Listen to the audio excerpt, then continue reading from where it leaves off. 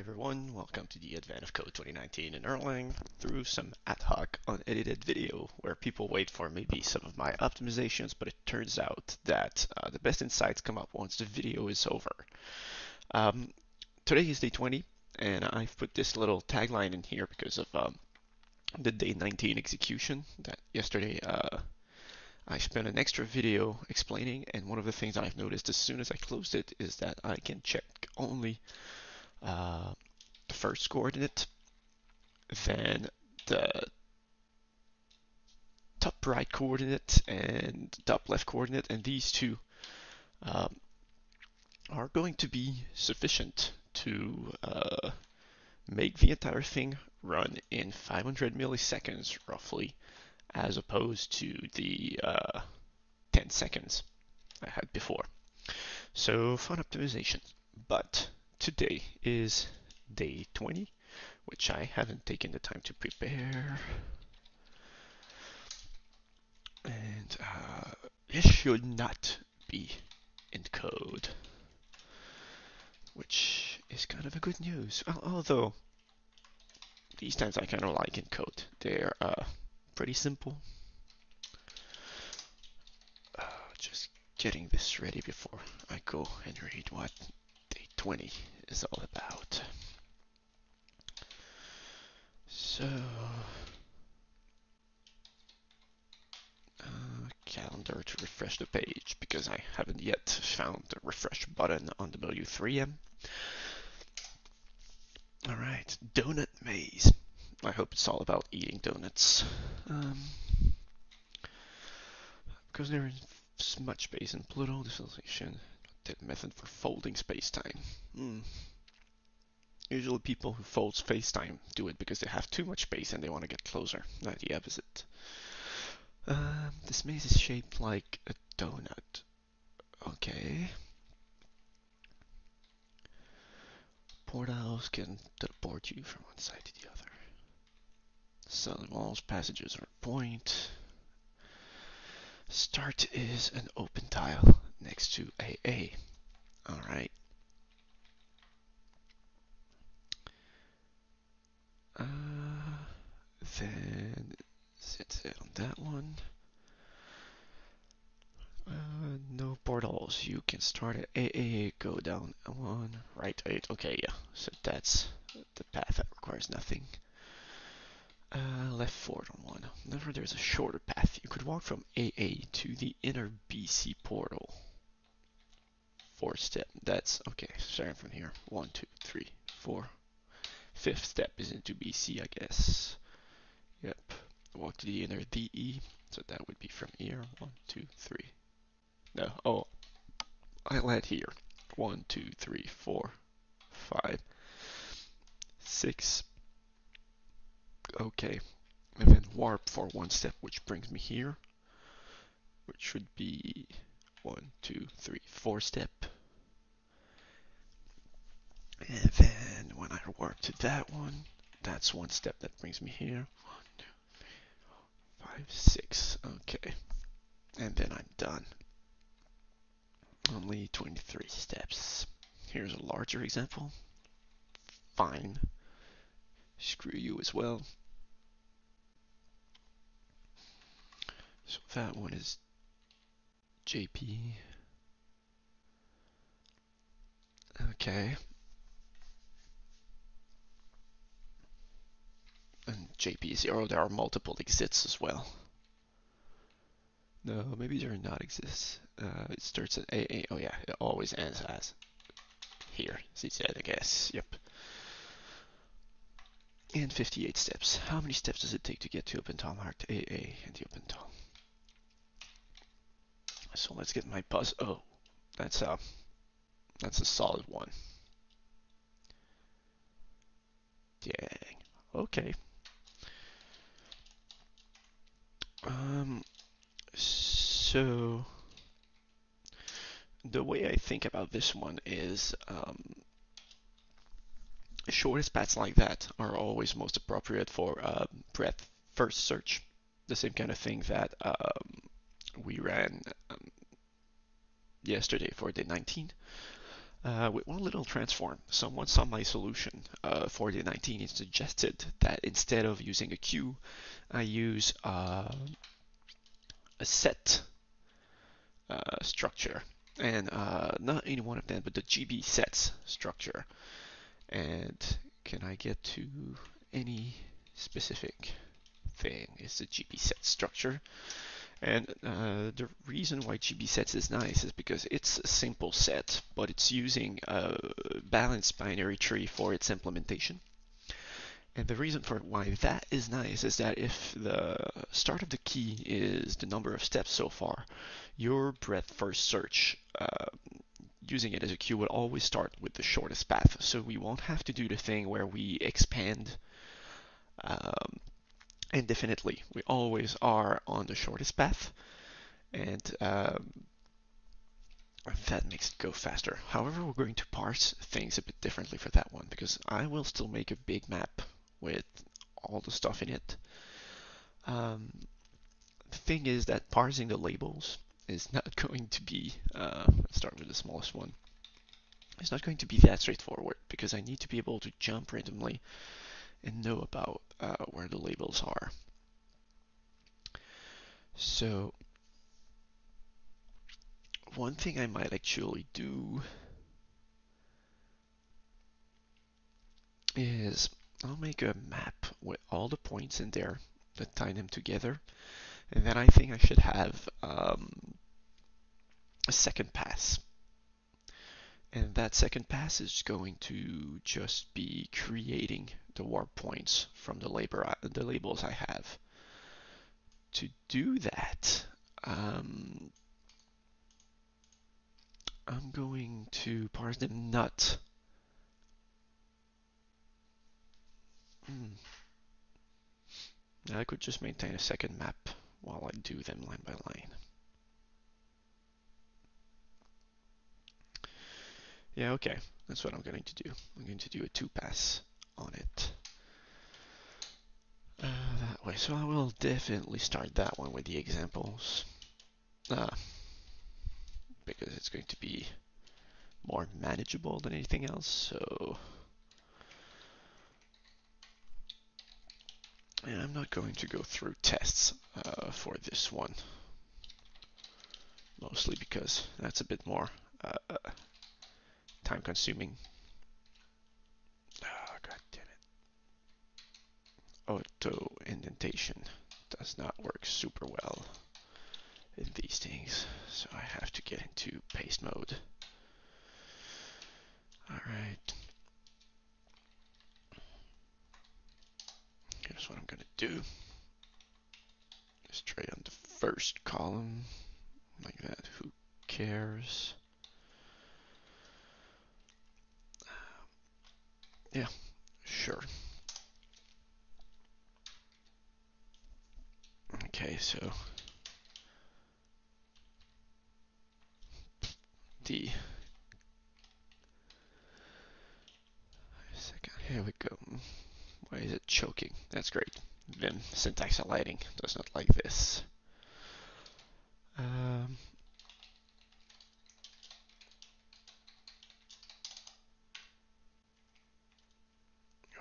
is it struggling so hard? this stuff. Here you go. Just needs to kick the tires a little bit. So um, I'm going to make a two map of the input. That's going to be the first pass, and then um, assign portals is going to be what I will do with that map. So two-map is going to be an extremely straightforward string parsing method that will just uh, add an empty map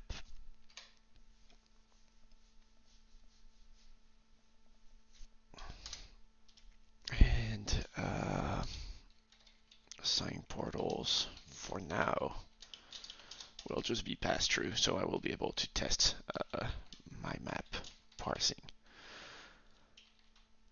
I'll actually start at 0, 0, same as usual for these, So when I'm done, don't care for the coordinate. I have the map and I return this. This is the base case to map. There, I have all the things. If it's a wall, then to map T. So Y and the map. If it's um, actually the thing I'm going to do is I'm going to probably have kind of a empty clause for all of them. That's going to be the last one for all the characters I don't understand. Um, I am going to care for um, the line breaks.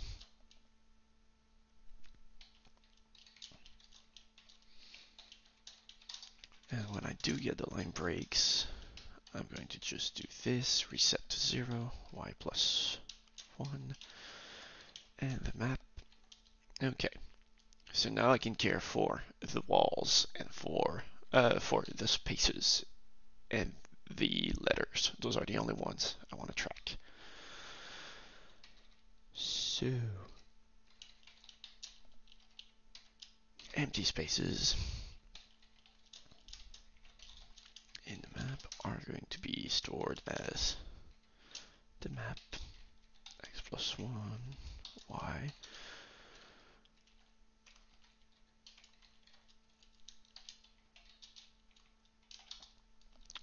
And this is going to be an open space.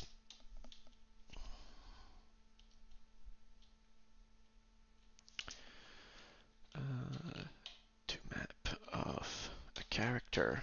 Oops x plus y and map when the character is in that range between alphabetical characters and uppercase.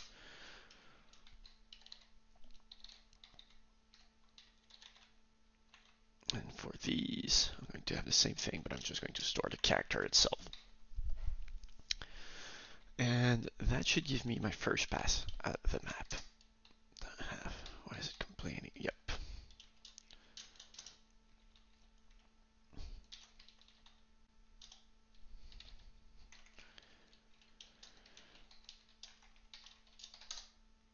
Okay, that seems to work. And A would be at so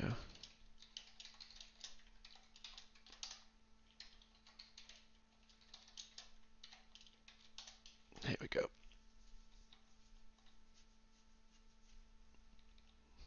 That's not sorted at all. That's weird. Oh, okay, I was way too high.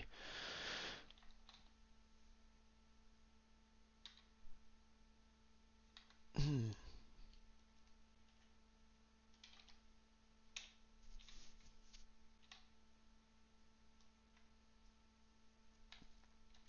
So I should be getting on. Oh, I'm sorting them by, uh, okay, by the x coordinate. And I wanted to probably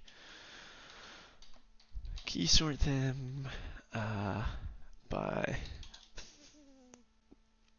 Oh yeah, that's going to be annoying because they're inside there. All right, I think it works anyway.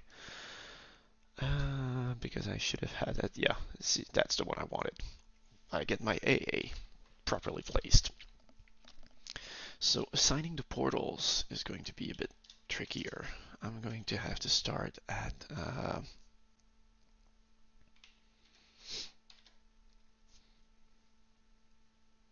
I'm going to have to go through the map. I think I could do it in a single pass. Yep, I'll do it a single.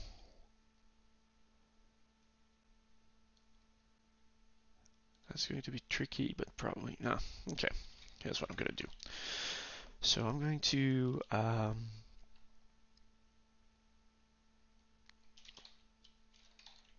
I think this is what I want. So the thing I want to do is go over all the values in the map, and whenever I see a character like that, I look for the other one. Um, and when I find the other one that's right next to it, that gives me a portal label that I can track on the side. And then I will take all the pairs of portal labels with the nearest point to one of them. And uh, that's going to cover it. They're always parsed from top to bottom or from left to right, so I can use that as well instead. Um, okay, so I'm going to have to use a list for this because I'm going to do a lists fold probably on each one of them. So, uh,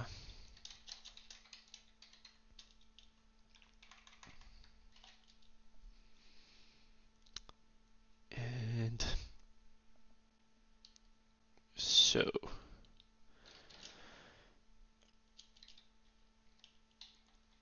for each of here I'm going to get uh, a position and a character and I want only the characters that are in that same range I had.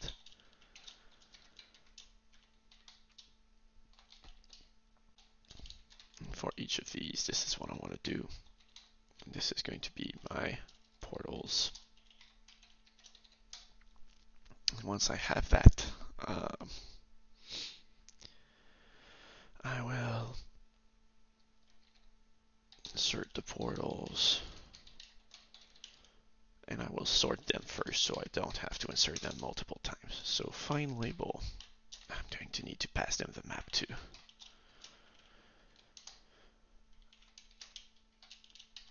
All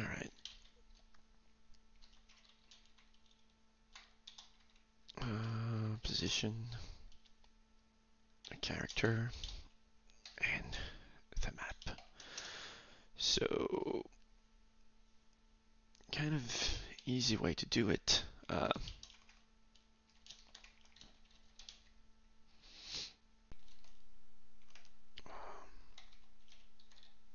okay.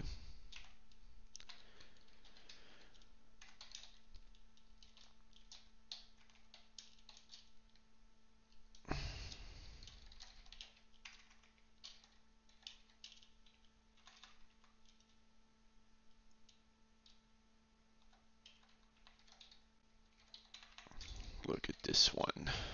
Uh, that's going to be an ugly trick.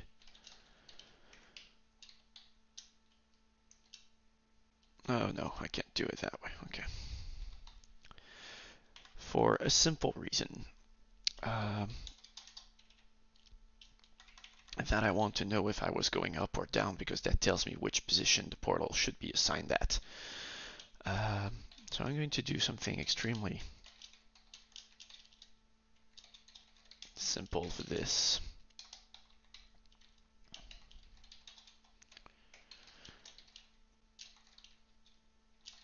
I'm going to need these functions anyway when I'm uh, inevitably waltzing down the map anyway.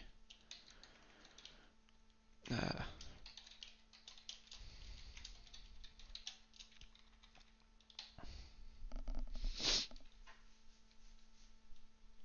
because I need to know about the direction here. Alright, uh, so it's going to be x minus 1, same logic I have every time. Oh, we're going to be a full stop though.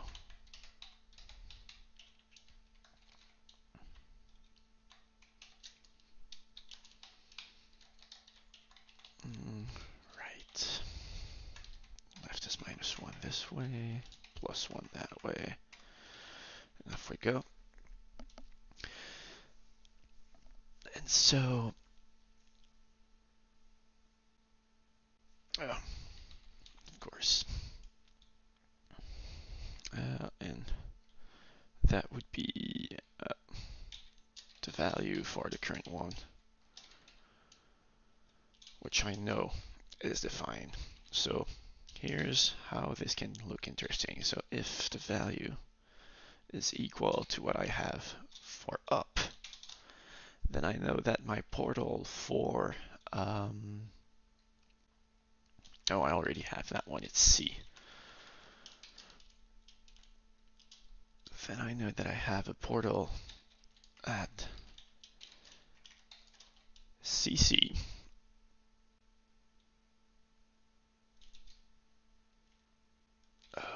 Wait, they're not always, they sometimes have different labels and they have the order. Okay, so if up isn't false, then I know that I'm going to get up and C because the character is above. And the position I want for this one is that the portal is going to be on the step I'm on here right now. That's the thing. Uh, if it's down, that isn't false, then I will have C and down. And the position will be the down position here. And that's going to be the logic for all of this. So if left isn't false, then I know that left comes before C. And the position is the current one. And finally, if right isn't false, and it's C. Right, and the right position. And that's going to create me a bunch of dupes, but this is why lists usort is in here. Um,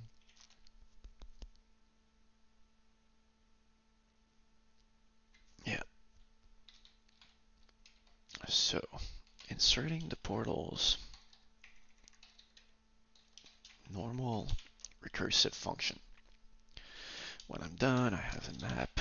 I return the map.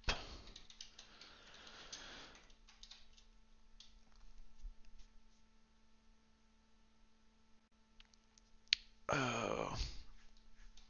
Okay, so here's what I'm going to do.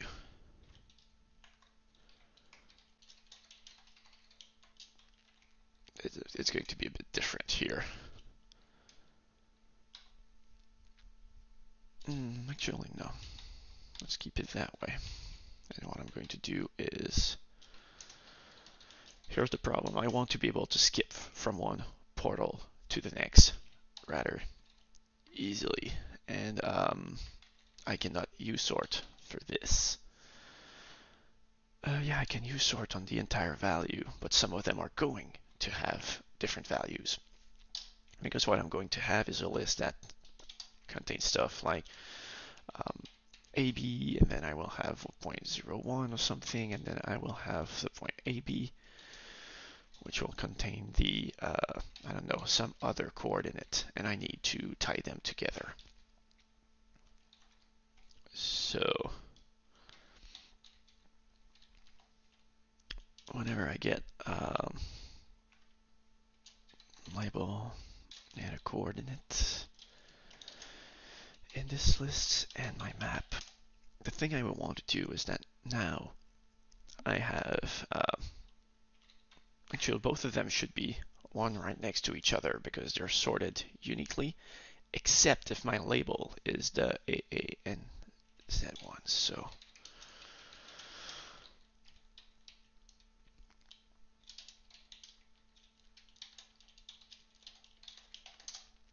So here what I should have is probably at coordinate contains start. I'll also do the opposite where it's going to be easier to do it that way. That way I can scan the map without any problem. I'm going to do the same thing for uh, this label. So finish. Now for all of these, I can have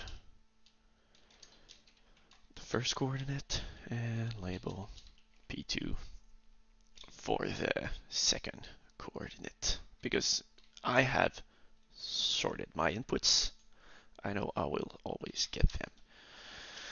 And the thing I can do that's interesting is that P1 now can link to P2 and P2 can link to P1 and I have all my labels for this. Oh, I need to keep recursing on all of these.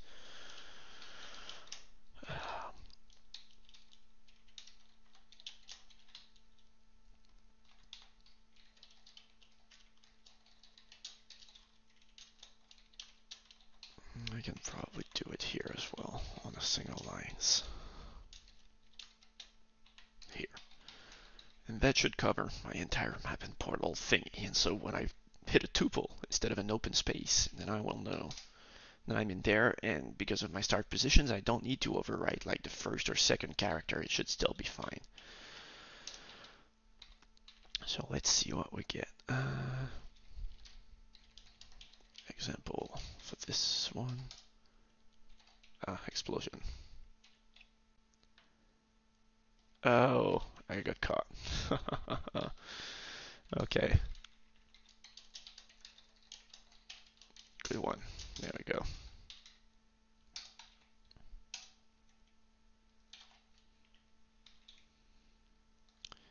Okay, so my finish is at 13, 18. That should probably make sense. Open. Uh, my start point is at a position. That's all right. But I should be having portals in. Yeah, so 113 leads to 810. And probably that. If I go to my 810 at another point, well, 98 with 18, that's going to be easier to check. So 18, that would be A, 2, no, 1 is on this side, and this is the 8 line, 2, 9, 8,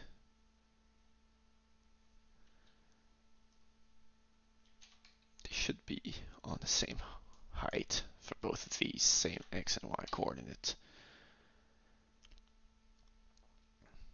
I don't have two portals on the same height, so I might have... Oh no, it's the same. Yeah, same y coordinate at 8. And the left is 1.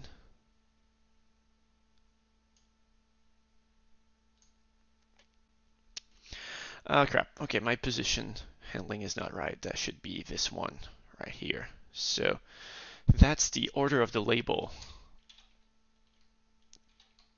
Damn it.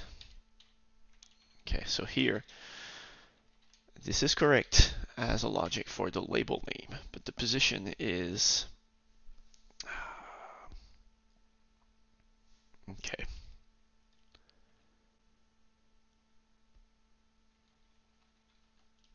Going to have to rework this.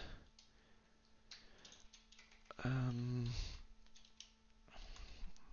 I have a feeling that this is going to be the hardest part, not the traversal, but really just getting the map well represented. Um, okay, so I'm just going to have more branches in here. I'm going to keep that.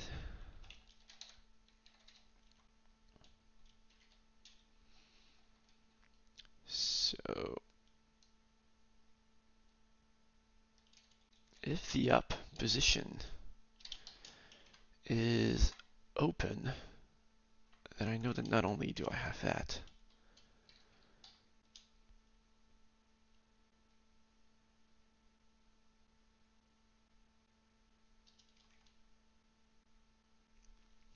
Okay, then I need, then I know that if my up position is open, then that means that my position is the right one, uh, but that I'm in the order C and then I want the down value for this one by elimination, right?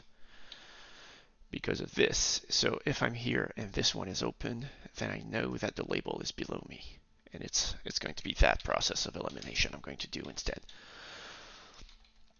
So if down is open, then it's going to be the opposite, right? If down is open, then I mean that uh,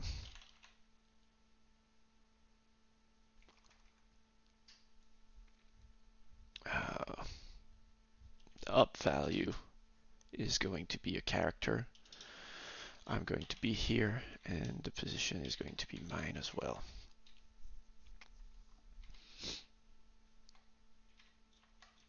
So I'm going to keep doing that. If the left is open, then I'm here and the right is the end of the label and my position is good. And if the right is open,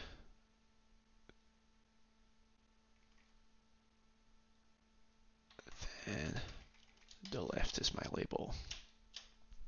And C is a thing, and my position is still good. Uh, I'm going to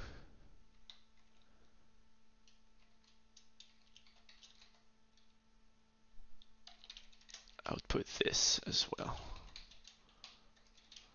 Because this is easier to check than the full map output.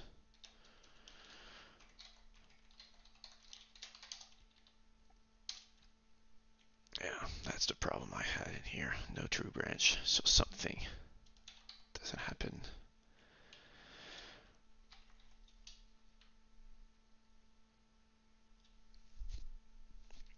So here, the thing that happened is I am now in the case where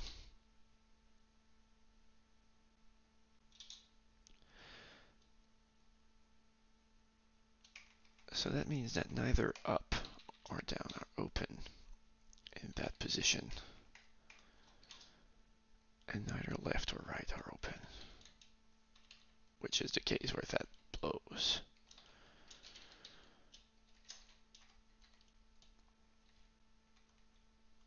And here what I'm going to output is just one big tuple that's going to be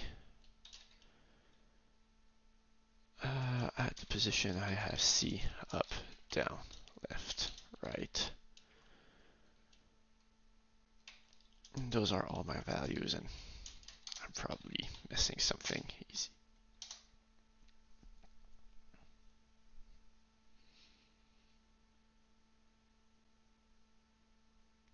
Okay, so I'm at my position. That's 9, 8.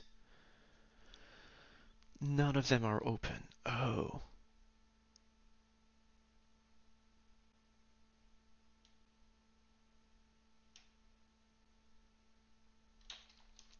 Okay.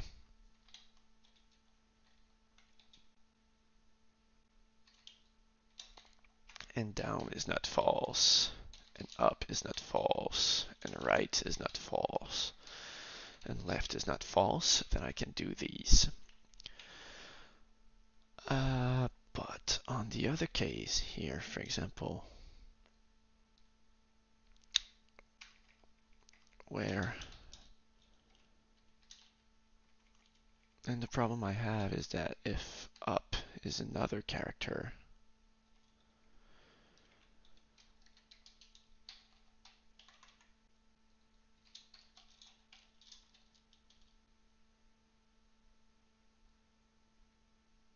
no, that's not that's not decent logic. That only works when uh,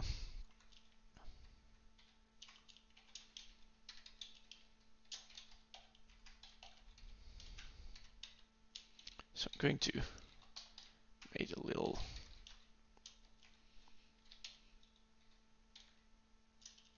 to be um,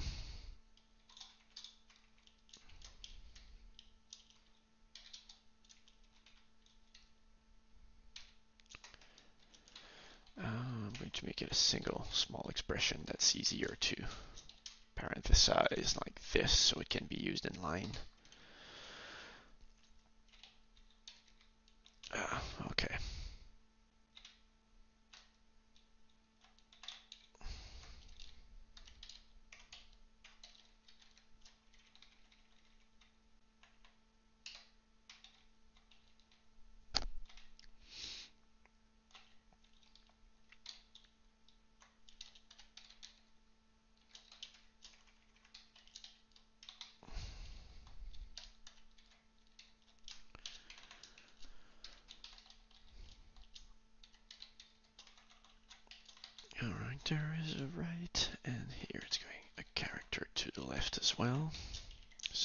Should still explode exactly the same way it was exploding.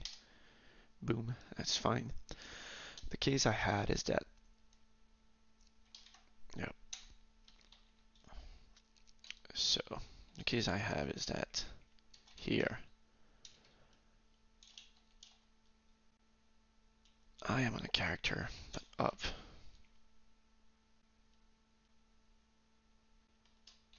When up is open, but down is not a character, then that means that down should usually be open. No, they're all false. Oh, it means the point is even further up.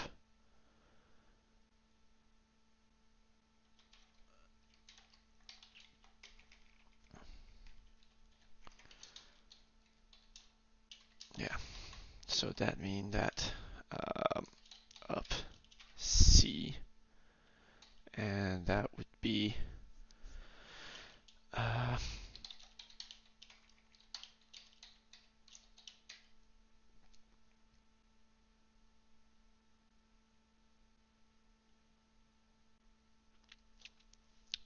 because down is oh god eh, not a car.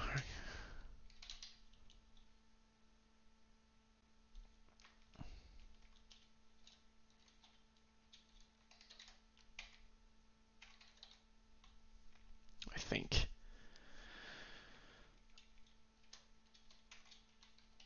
Just it's not open. Okay. Then that no. Of M I believe would be the thing which is really really kind of messy. Uh, which means I'm going to have the same logic here. Where am I? It's down but up isn't open. Yeah I need to be consistent here. And that would be C down. And here it will be down twice. And therefore, oops, I copy this here.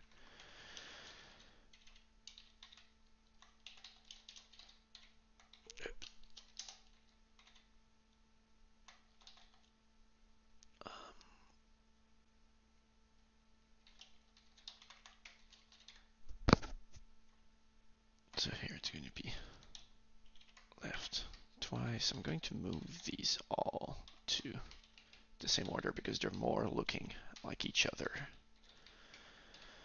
than the initial clause. So when right is open but left isn't. Hmm. Whoa, whoa, whoa, whoa. That's C.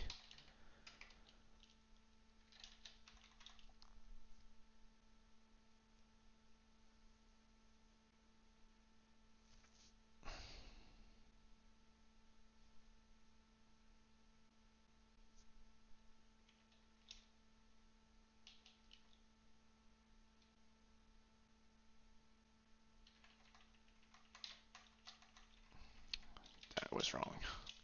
I only need the position of that point, assuming it's right by elimination. Hopefully it works. So here it's going to be right right of the position.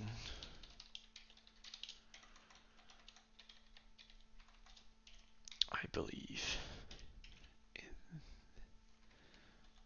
So if up is a character and down is an open, then up C and position is up. If down has a character and then down has to be open. If left has a character and right isn't open, then left has to add a thing, and if right has a character, it's just, yeah, I think that should work. Here we go.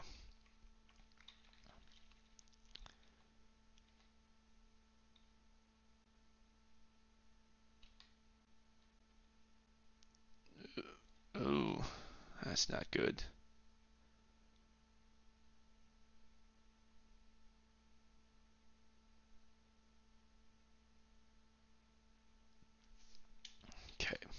So clearly uh, uh, my logic is incorrect in there because I've got multiple labels multiple times and they're going to swap with each other in the wrong way. Damn it. Okay.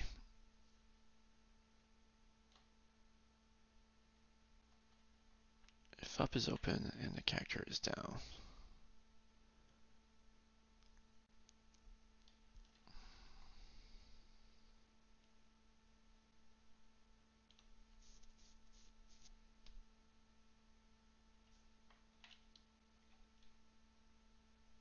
Oh. I don't need to go there twice. I want the position of the point above me to be the entry point of the thing. I'm not reading the value. And so those were losing me my deduplication in there. Here we go. A is only there once, and is only there once. And BC is 1, 8, and 9, 7 now. So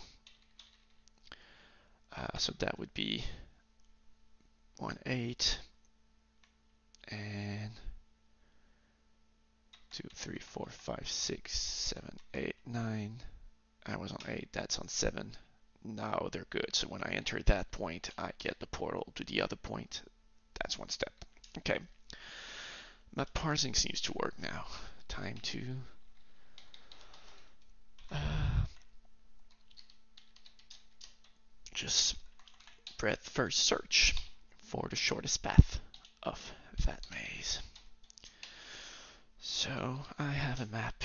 Um, I am doing to do my breadth first search from uh, the map itself, but I'm going to be using uh, my queue is going to be a GB sets I think there's a from list function in that one. Yep, from list is in there, so I'm going to do things differently. And I'm going to start with a cost of zero, and my position is going to be at the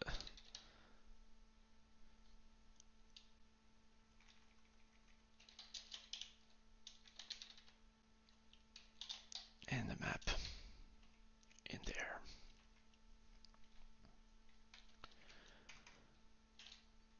So uh, actually I'm going to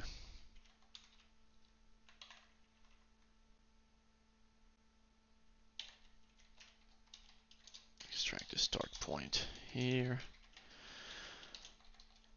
I'm starting at the start point and I am going to carry a list of all the visited path still so that I don't check them more than once which means that I'm going to have to carry queue and the seen set, which is going to be just a start point, which I've seen once. That's good enough. And I think I'm good to go with this. Um, oops. So I have my map, I have my queue, I have my seen elements.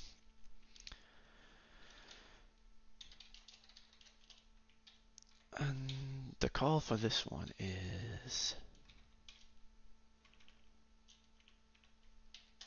GB sets. Let me find the listing is going to be the smallest function, which returns assumes a set is not empty. Uh, isn't there a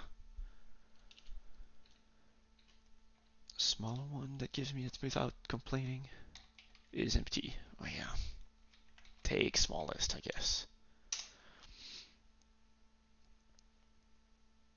Element in the new set. Alright. That sounds good. Uh,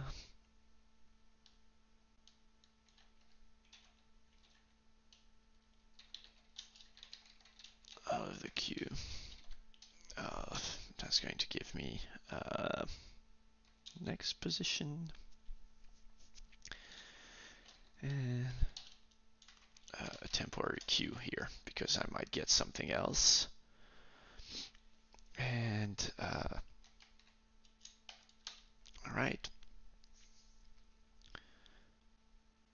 Actually, that's always what I'm going to get. What happens if the set is empty? Uh,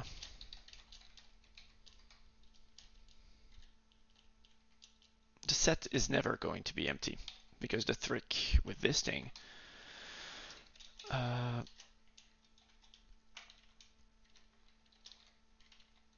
the thing with this thing is that I can stop the moment I see my position for the first time so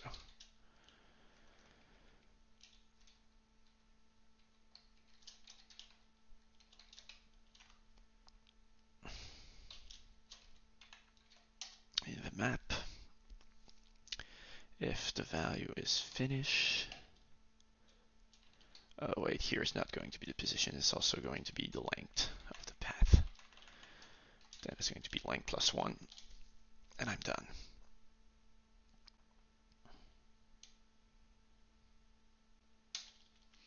If what I see is instead um, position so that would be xy, then the thing I can do for that one is going to be to jump is my only option. So I'm going to give myself breadth first search of the map and my new queue is going to be to be GB sets and there that would be um, an insert call, I guess. Yep. It's going to be an insertion with the element first. Here it's going to be the len plus one to the xy position. Ah, here. I need to do something a bit different. I need to see if I have already seen that point. So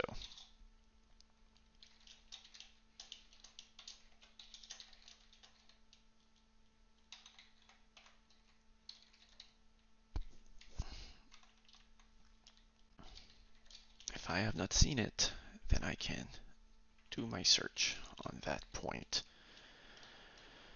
uh, in TMPQ and I will add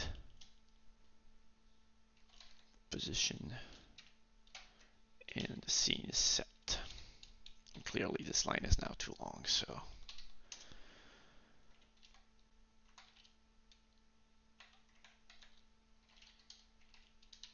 let's format it so that it sits pretty.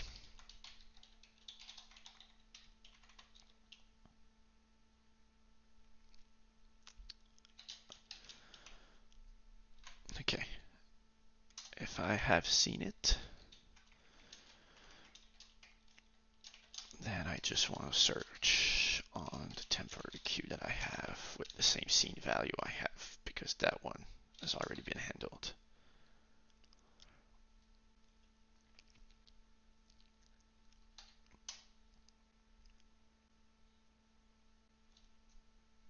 Yeah, I'm here the thing that's important is I'm looking ahead on the next step before inserting it and I'm handling all my I assume that the tile I'm on has never been seen before. So then the only thing I have left is if I'm open then um, candidates is for my position in the map with the following seen elements. And uh, out of the candidates, I'm going to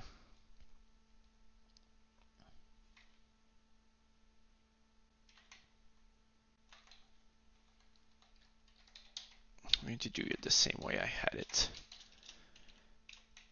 yesterday. So UQ is going to be this, and then I can just breadth first search of map Uh, whoops. Of map, new queue, and seen that has my current position as visited. And that should be the end of my search, frankly. So next position, map, seen, queue. Uh,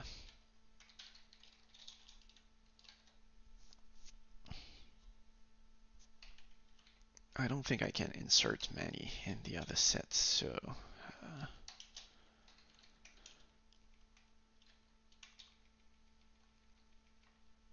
so here what I'm going to oh um, I'm going to need to have on this one the um,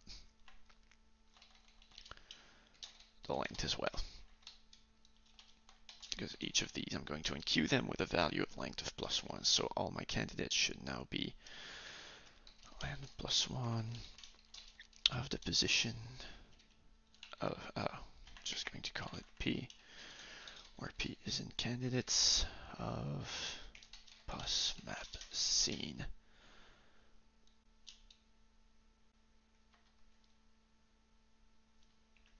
And what I will do is folding in a list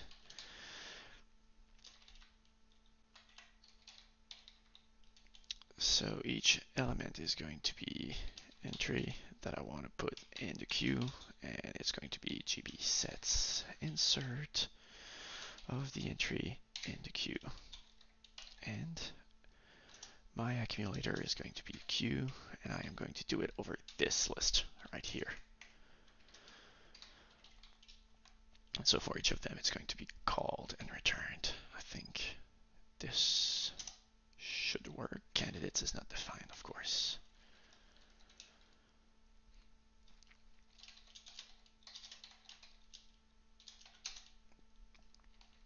Candidates is going to be a list, so I'm going to be using the position and uh,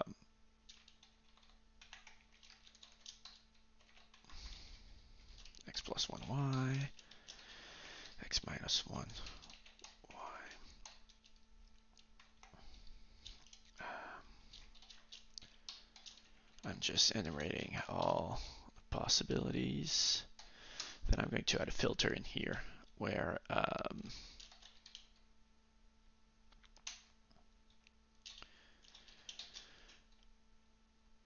is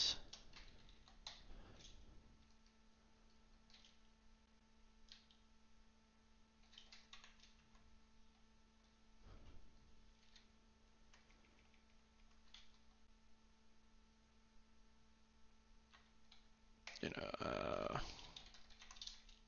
not equal to undefined. I don't think that I will ever get any other map in there because the walls are not part of the map. And I will also go with Ah, yeah, that's why I was doing this before. That simplifies a bit of scanning when I do this seen map for this because then I can do I can assume they are false and that the answer is not false and that works. So where's my next problem now?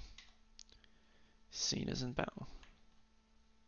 Oh, that's right, it doesn't exist yet. Okay. No function clause matching lists. usort in line 1059 at. Oh, of course. I haven't passed it a list. Okay, that's far less problematic as a bug that I thought it could be.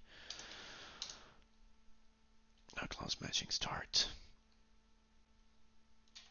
Of course, that's my first point. Um,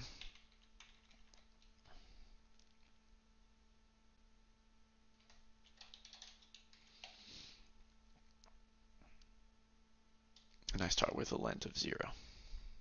So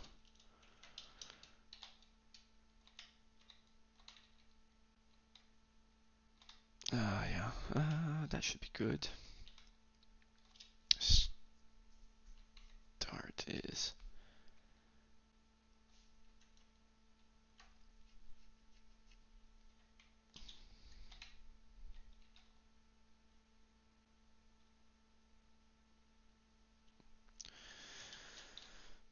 let's just see if that fixes it.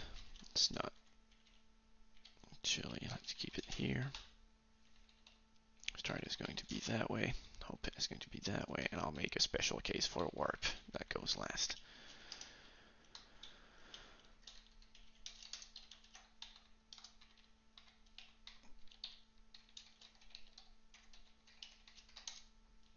Matching 65. 46. Okay, so that's the thing here. So here I only want to have uh, either open or else. Okay. So I'm going to get uh, the value of this is going to be maps get p map undefined and I want v to be equal to open or else v to be equal, to uh,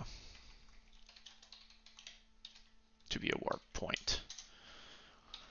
But I don't want to be exploring ASCII code.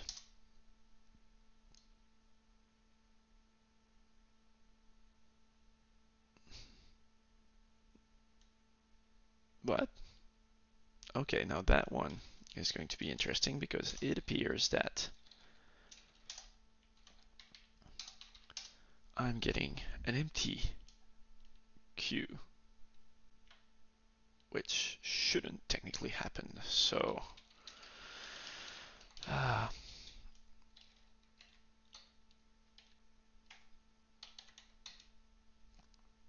A20 BFS, all of them, a thousand of them, scope, local.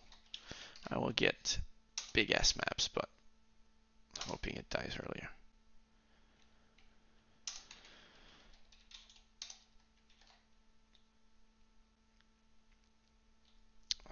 Where's my queue in there? Because that's where it supposedly dies, I guess.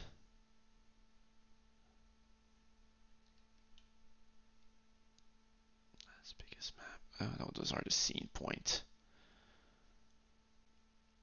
Oh, I know. Just realized. Um, where's my candidate's value? So here, the thing I want here is I'm going to use something else. It's I'm just going to be use uh, that type of zero something.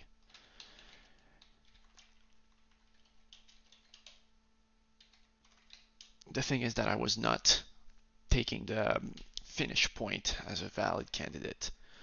So here uh, I'm putting zero, but it could have been like uh, invalid or something as a string. It doesn't matter. I'm just putting zero as a cheat value here. Um, now I have 29 and maybe I need to tweak the value. I'm not quite sure what they had in there. A total of 26 steps. So I've got three extra steps on this one. Um, which I'm going I'm going to believe have to do with um, counting the finish point in here and possibly increasing them on this value, which I'm already paying earlier on. 28.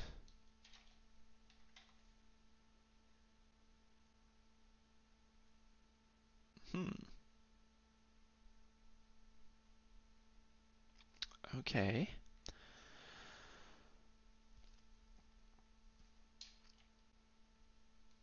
That's drastically more interesting now.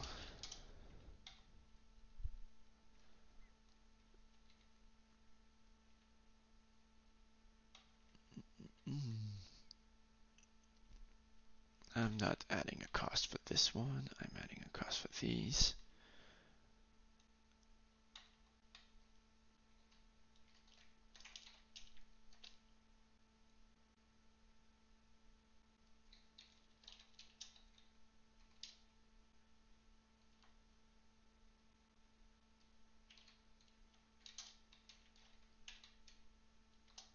Let's trace it. I'm thinking, but let's trace it. 20 example. Okay, so lots of content in here. Um, can I start at the beginning? Yeah, here. Okay. So, my queue being in the middle is really annoying.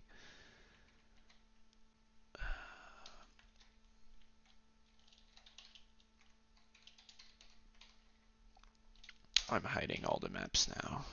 Calling this. Oops. And. Okay.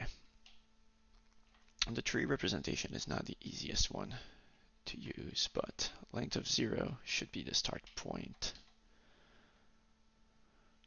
of the first one.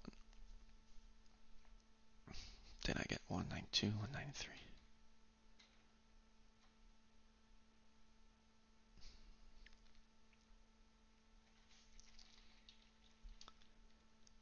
It's exploring all of them.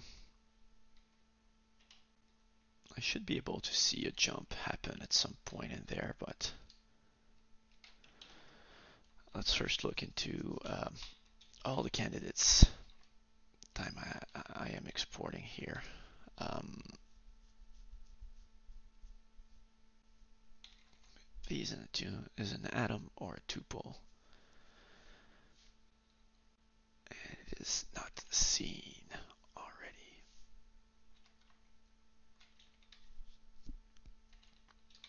So I'm going to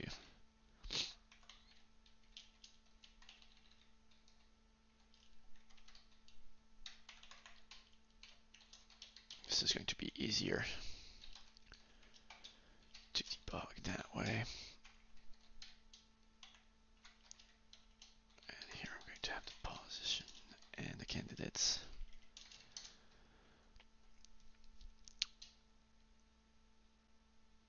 I'm maybe counting the plus ones of the portals anyway, but we'll see.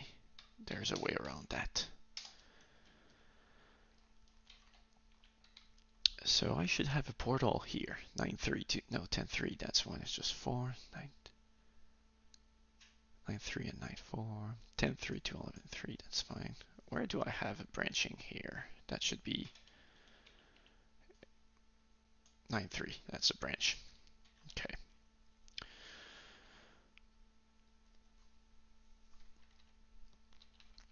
And the thing I'm going to get is, at some point,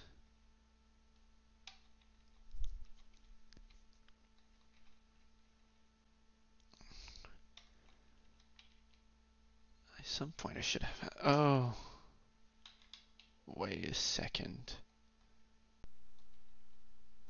Yeah, these points are going to be shared if I explored one before the other, but they shouldn't have been seen at this point yet. I'm going to add a little bit of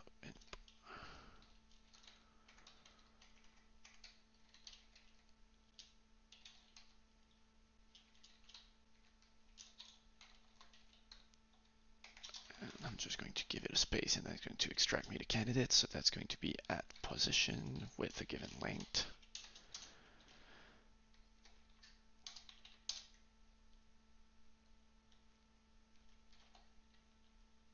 Some of them are dead ends. Okay.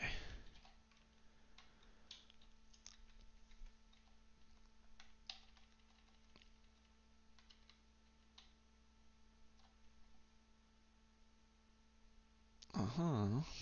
13, 14, and 13, 16. I'm betting that those are 14 and 16. So I possibly have too much length on my portals. Okay, so I'm going to take my candidates output here. I'm going to confirm a little thing in here. Um,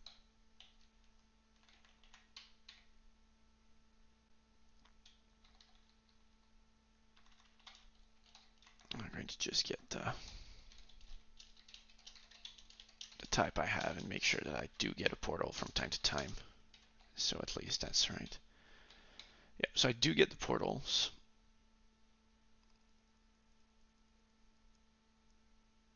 Oh no. I think I get it.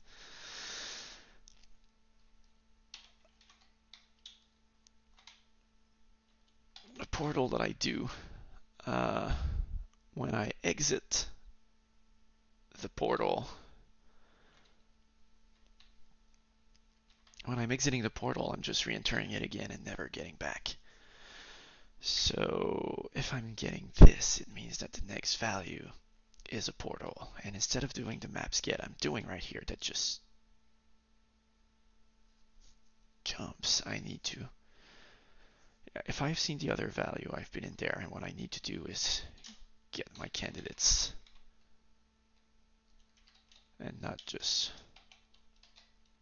stop. And the candidates are going to be obtained from the value of my current position because I'm exiting the thing. I think that might work.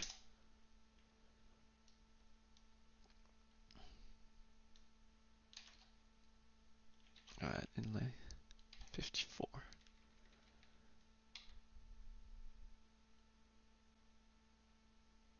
Uh.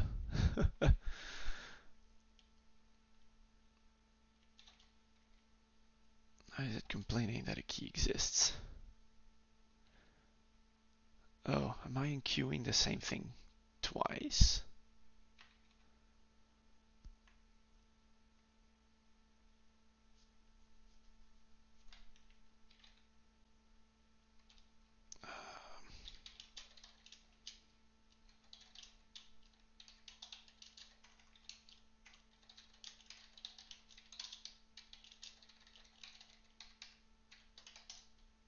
Yeah, okay.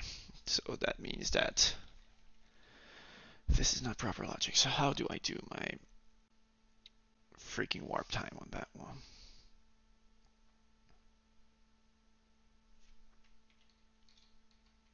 So, okay. I should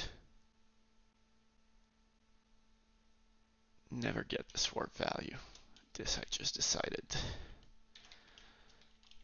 Instead, what I'm going to do is get it in the candidates in here. So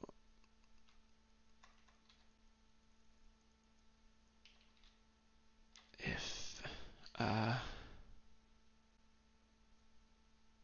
this is fine, here I'm going to be doing warp on these.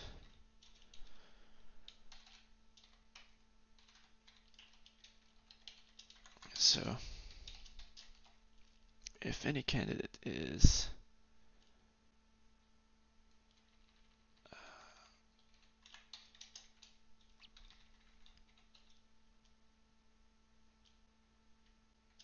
when I'm done, I'm done. So what I'm going to try here is to, um, when I have a candidate that is um, another warp point, so x, y like this, the thing I will want to do with these is um, replace them by the candidates. At the position xy with ah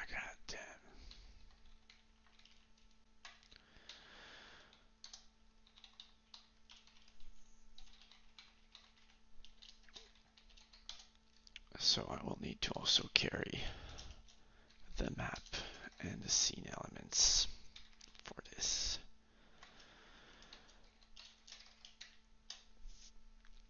Until I'm done with that. Which hopefully won't get me into a kind of infinite loop.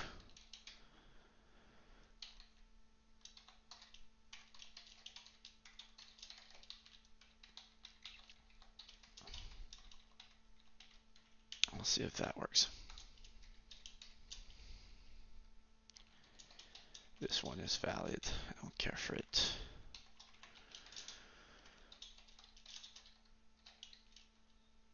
So that just, what have I messed up? Here.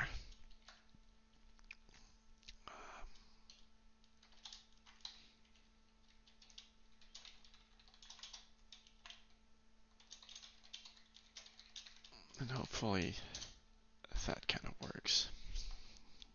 Yep, of course.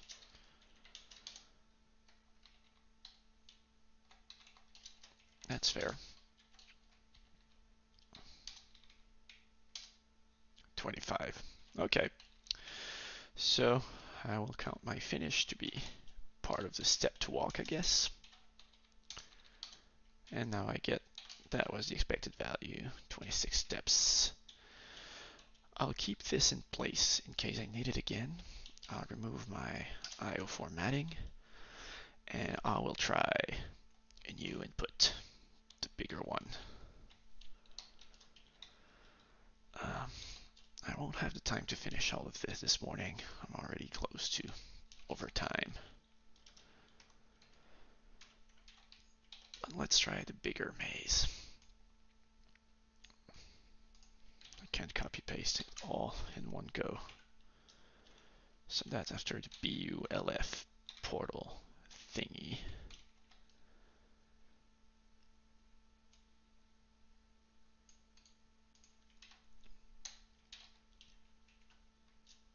And I think that should be it. UPP. That one should be in 58 steps. So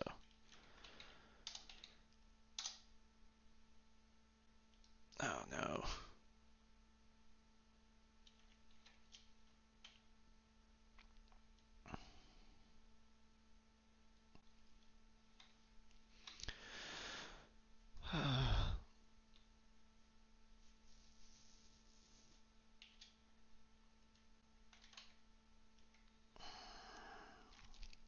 it's in Foldel in 1263 and 992. So what do I have at 992? This is here, my open space is in queuing something that has already been seen, so I'm not tracking them all properly.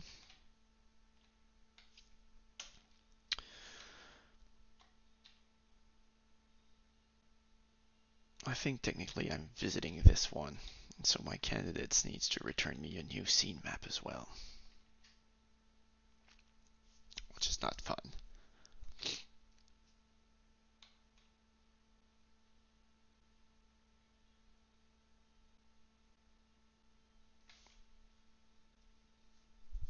Hmm.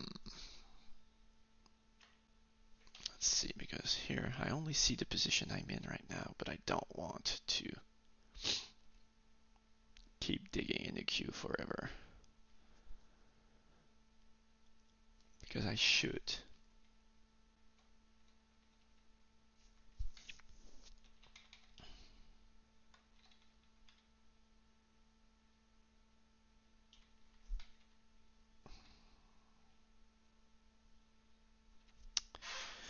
How am I going to do that one fine?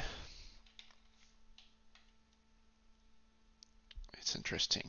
What else do I have that's broken? I'm going to think about it a little bit.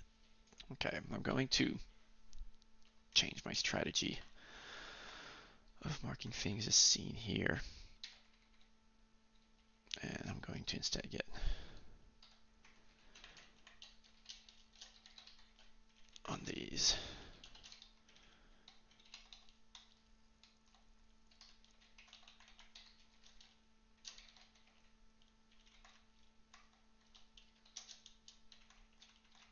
And the point I'm in will have been visited already. Also means that here I could probably,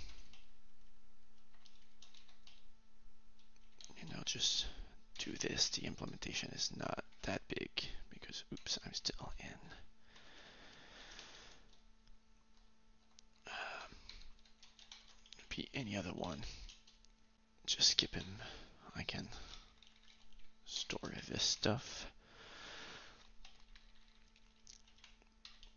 So here I'm going to have the GB sets. I'm going to have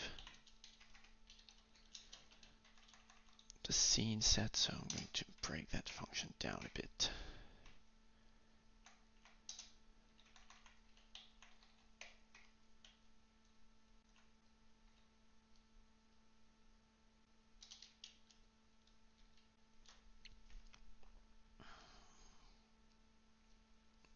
I don't need it insertion. That one can remain the same. What I need though is this here.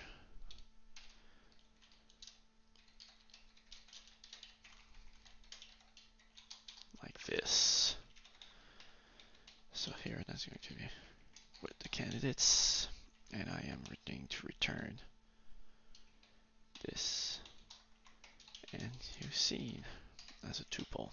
So now my candidates function though needs to be flipped around. Uh, if they have not been seen, that is fine, but my warp function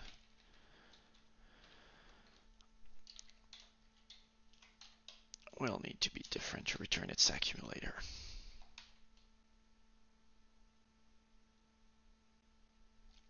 Actually, the warp function only has to, yeah, it returns a list of candidates as well. So, uh, candidates map seen. Now we'll need to candidates map seen and a new list of candidates. And when I have seen this ack seen, that is going to be a tuple of lists. They don't need to be reversed because they all get inserted in a queue anyway.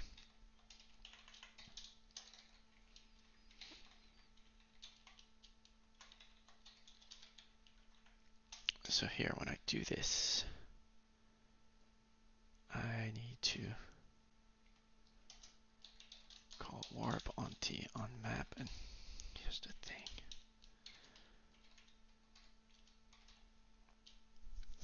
Here I will have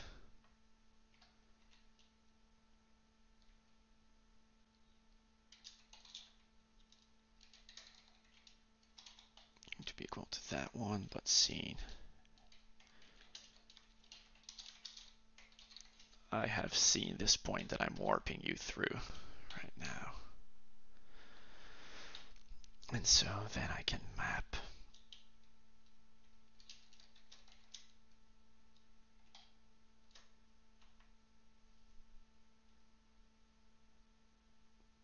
because they're technically at the same cost. I think this makes sense.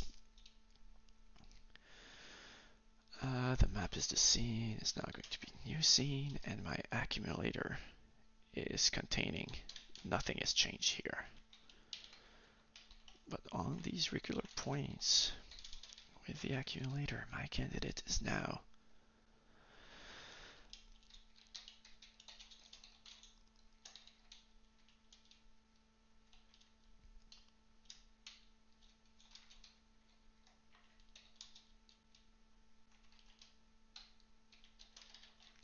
think this would work.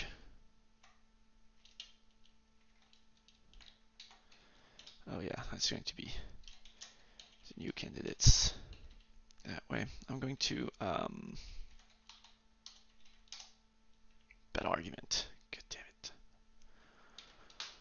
Oh, 121.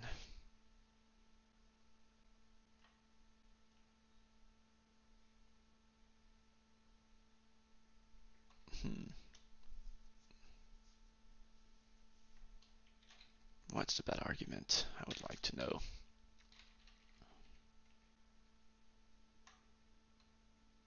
Because I do a P maps. Am I returning a thing that shouldn't be a position? What's the format of candidates? Candidates should have the same format. The P is there, the T is there.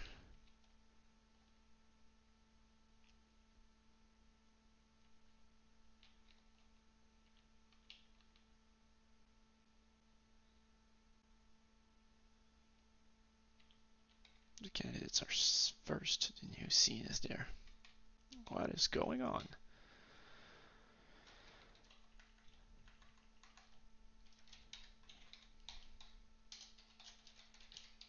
Ah, I'm going to do just a layer of indirection on that one. Um, because it's going to be annoying to trace it anyway. So.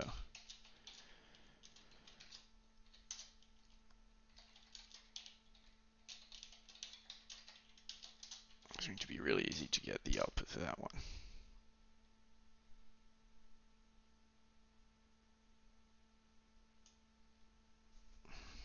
So that's my key. That's all right. That's a valid map. Why is it complaining of a bad argument on this?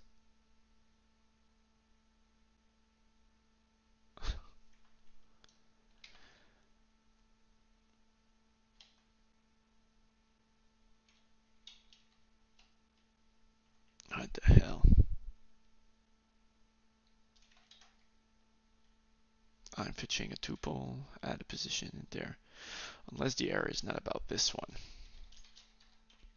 It's about this one that I broke somehow, but I don't think so. Here I have a big ass map, that's alright. And I have a tuple.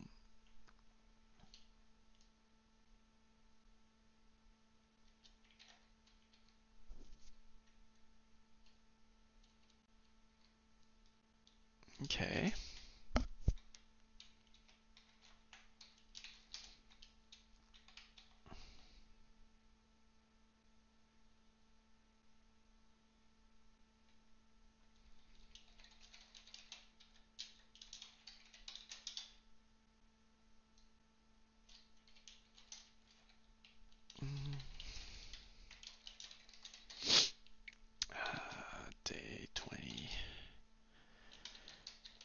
candidates and I want to see the return trace of all these things and I don't know a them why not. Scope is local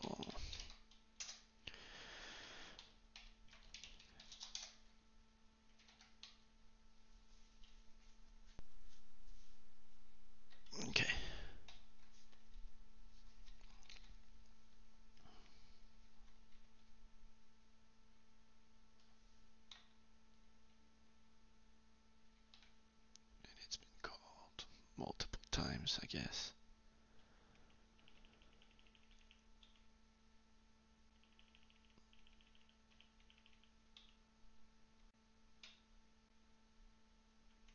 I'm getting a bad argument. Oh, List comprehension on line 121.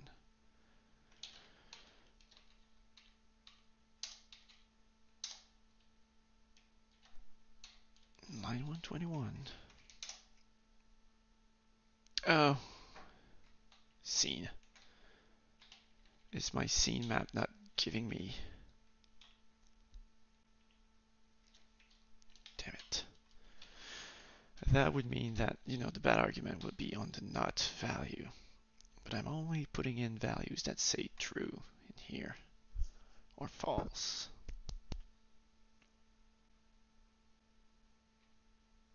Is there anything else I'm doing with them?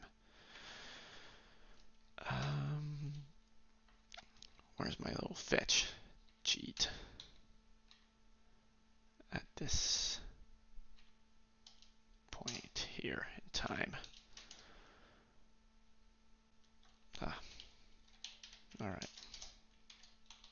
Maybe I missed something when I was looking at it. Yeah, 19.1 gives me one here. There's a place where I put a value in the seen thing, and that's the one I get, so. Where do I do on my map assignments? That's fine, that's fine. Oh. Ah, I had forgotten that one. Let's go to fetch. Maps gif, this one is gone, and now it should work. Bad key 19. Okay, where do I get 19 now? It's online. 85.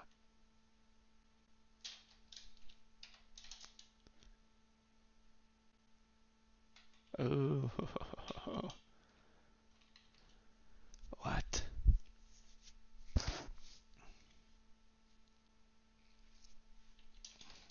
Tracing candidates again it is.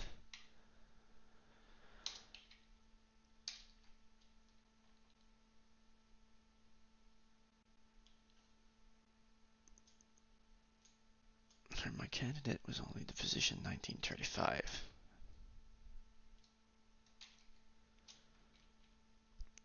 And so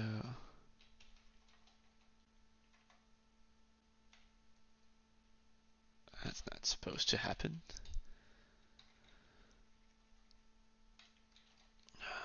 Goddamn broken map printing. It returns points.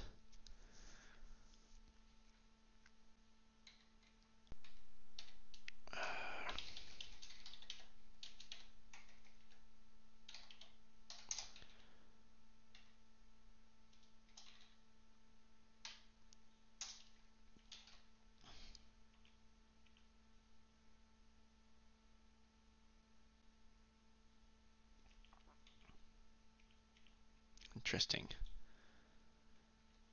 1935 and I already seen 32.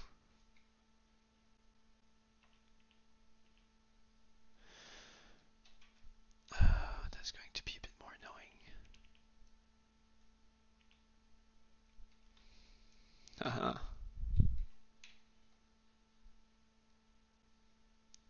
How did I, that's the 32 value. So where did I inject that 32 value? I called candidates of, oh. So where's my, I call candidates with a list that had a single item that was this point.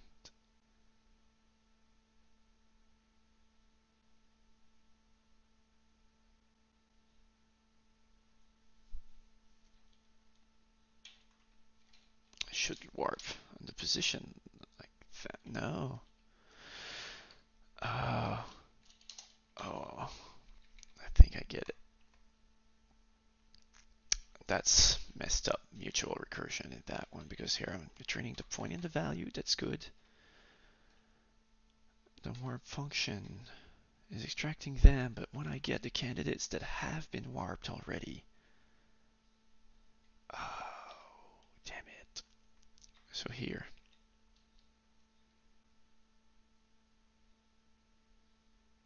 my candidates for XY is fine, but each of these candidates that I have here should be re-added with their value. So there's one way to do it. That's probably clean.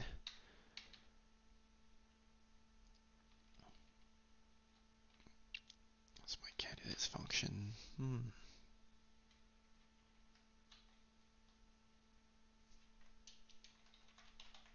Let's see if that's if my, my gut feeling is right first.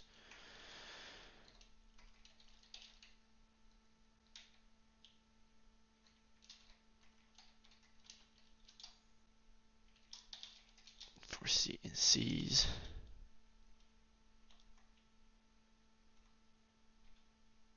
And that will probably work.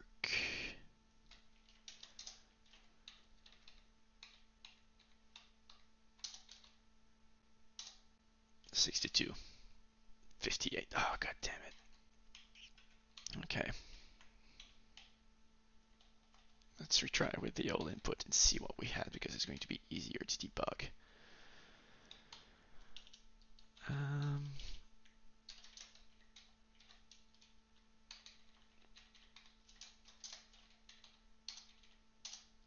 Twenty-six again, and that was the right result. oh god damn. That one is not going to be fun to debug.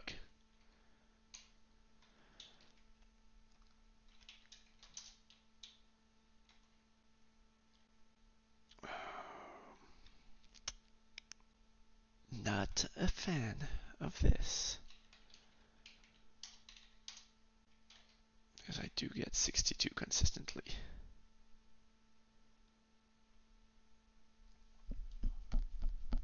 Hmm.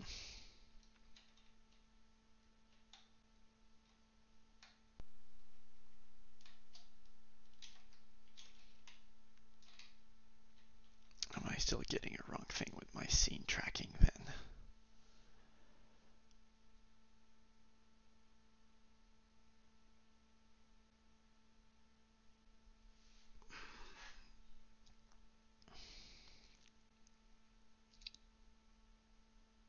Alright, well, I have to work. I'll think about it and come back. Okay, bits of an insight that I have found. Um,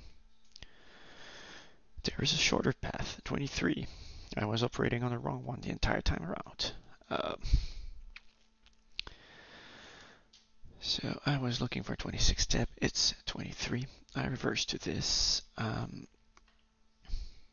and one little thing I've done here um, was I added a label to each of my warp points to know which I was going through. So I'm probably still doing a plus one on each of these warp points that I don't need to do. Um, and I'm not quite sure how to fix that plus one I'm doing on all the warp points. The thing I'm doing is B, C, D, E, F, G here. Should be the shortest path there. B, C, D, E, and F, G. So for each of these portals, I have a plus one for the number of portals I go in that are in the path, because here I check the uh, minimal path, and that should be 58 with four portals, and I'm getting 42, uh, 62. So, uh, the little problem I have is that the warp point and the insertion here does the length plus one on its own on the next value and I cannot control that based on whether it was a warp point or not. Um, so that is a tiny bit annoying.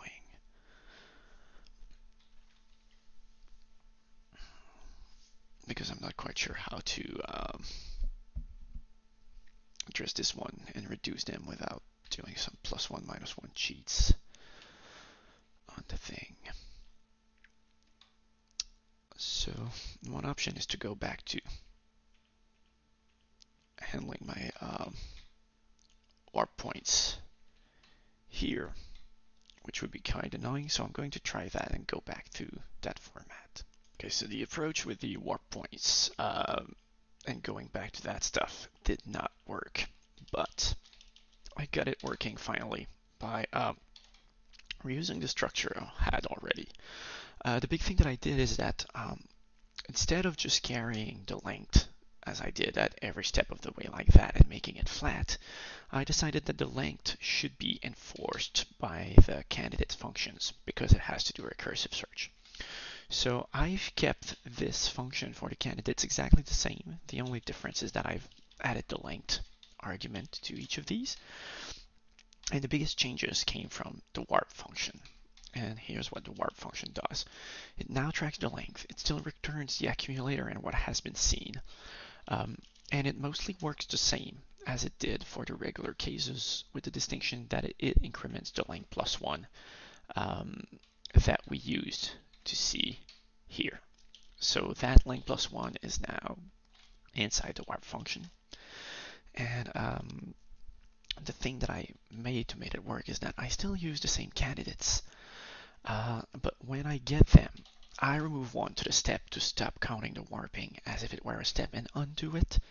And since warp now returns the final result, rather than putting it here in the accumulator where it used to be, I put them as already logged entries. And so when I run the example of the big one, I do get 58, which if I recall was uh, the proper answer, 23 for the short one, 58 for the big one. And so um, if I were to retry the short one, I guarantee you I get the right result. So uh, the thing I need to do then is to simply run it on my first part, the logic was mostly fine. It was just to shift the uh, shift the uh, length calculation to account for the warping. So my input for part one is going to be equal to the advent input of day 20 and day 20 p1 rapidly. 453. Let's see what we get. 453. Oh no, it's not right. It's too low. Oh. God damn it. And it works with the examples. Right, because it was giving me 58 on the example, which is exactly what they want. And I was getting the right result as well on.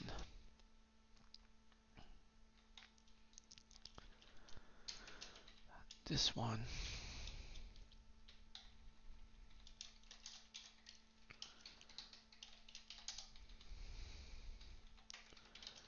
Which was 23. But it's not correct on my day one.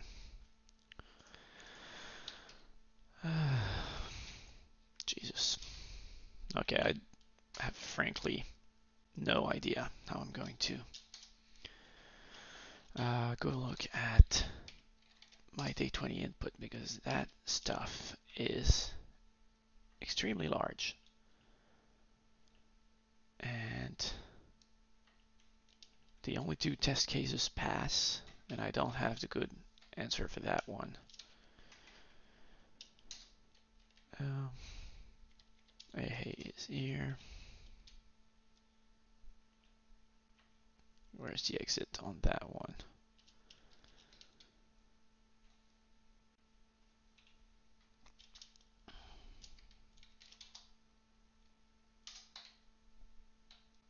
It's at the top here. It's at the top here. Okay, I'm going to go work, then take a break during lunch or something and try to figure it out because there's no great value here. Okay, so um, I think I found an interesting thing. So what I've been doing is um, I went back to the first input and um, I decided to um, count exactly the steps and do things step by step in the maze in the exact same path. So to do that, I started by, uh, where's my thingy? Here. I put each of the steps I have and I made it a lot more explicit uh, what was happening when I was warping a given line into position. And the thing that happens is there in there. Uh, oh yeah, other thing I did also um, output all my labels to make it easy to see when I was warping. And the thing that I've spotted with these is um, I've got these label points. So going from uh, you know BC 97 should go to 18, but when I was doing that, I was doing 97 to 28, and I was probably um, skipping a few steps. And the other thing I had done was removing uh, the weird plus ones I was having because I was fearing a few things. So here with the length, I was having a plus one. I dropped it, and I had um, shifted some of my things. But what I think happens in there is that I'm skipping one step too many when I'm going there, and I was just compensating otherwise. So I will correct this by going, um, you know, this is just a warp point, so I should be able to just, and then the seen will be, be is true, is true, the length will remain the same, and the change is that I will put um, the length plus one, the same step I would have done here. I'm putting here, but I'm doing the skipping of the point into the accumulator. And so when I run this one, the thing I get now is, uh, damn, that's 28. That's not what I wanted.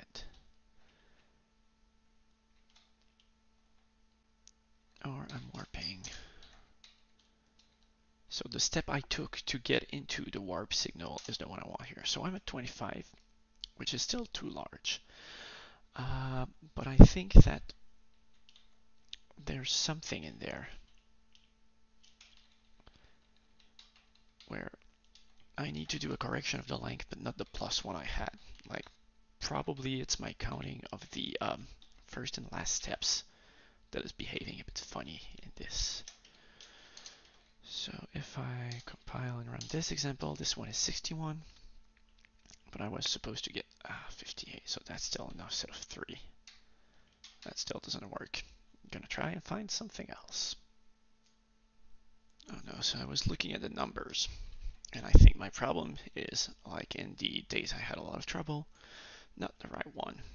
So you know 9.1 should be this value here. Um, and I want to start on, oops, I want to start on the one below it. And for BC I get 1, 8 and 9, 7, but this would be 1, 2, 3, 4, 5, 6. And here it should be 2 on this one. So 2, 8, and 9, 6. So all my coordinates are slightly off.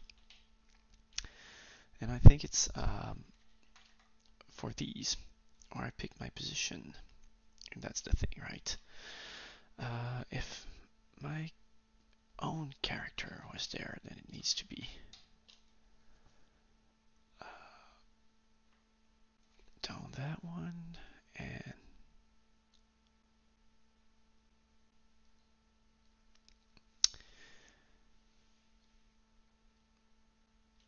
uh, wait, no, it needs to be up this one because I'm at top, I think. It's one or the others of these there. Oh, yeah, up is open, so it's up.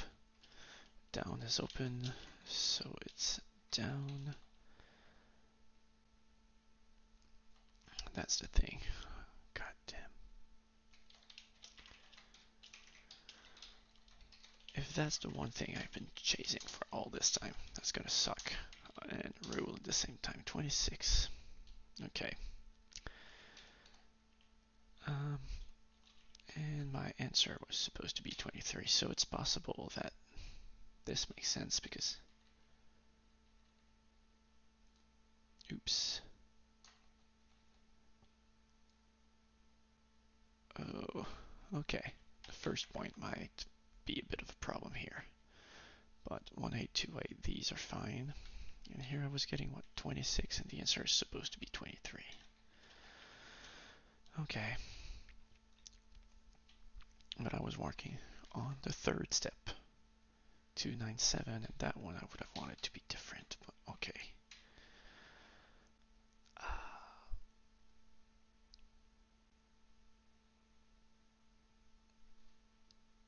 Okay, so what I think needs to happen here then is that this one is right. The duplication I get is because the kind of weird mistake I made at first is still fine. And here, essentially, if it's not there, I want the one that's at the other extreme, but I want the open position, not just the label itself. So that needs to double. And so if I recompile it now, I get 17, but my warping is, I think, what is extremely um, so it started in 192 and here I should be at the fourth step when I enter BC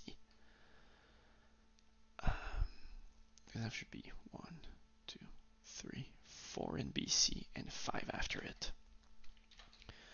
So BC is 96 and at 96 I'm at 3 so I'm lagging one behind here.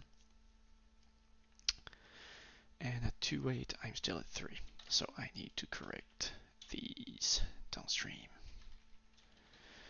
Which means that uh, I think this behavior here uh, of warping, warping should take one length maybe.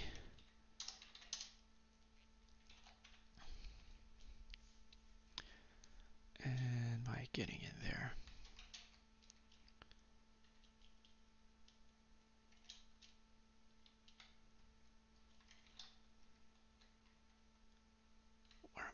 From. Okay. So here I have this. I could increment my length for all of these directly. I would no longer need to do it on this one on the loop. And here I'm getting 23. And I think that's fine. 2, I get here at 4, and at 2, 8, I've stepped forward one step. That gives me a 23.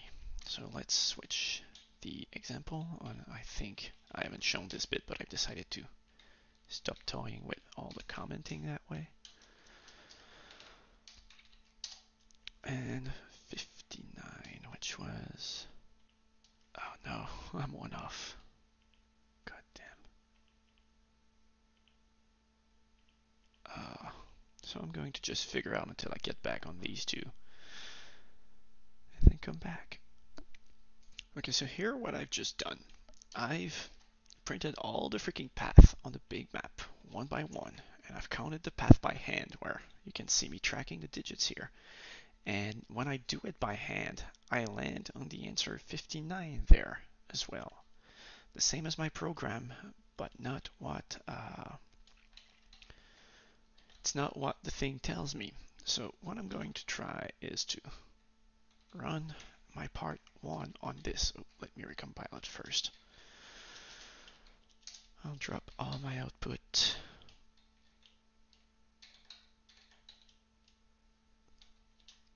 And I'm going to run it and try this solution. And if it works, I'll figure out that the example had a problem. So that's 462. Now let's hope that we have the right thing, 462. That's the right answer. God damn it. One of the problems itself with the examples had the wrong result, or at least I counted it by hand twice and got a different thing. Great.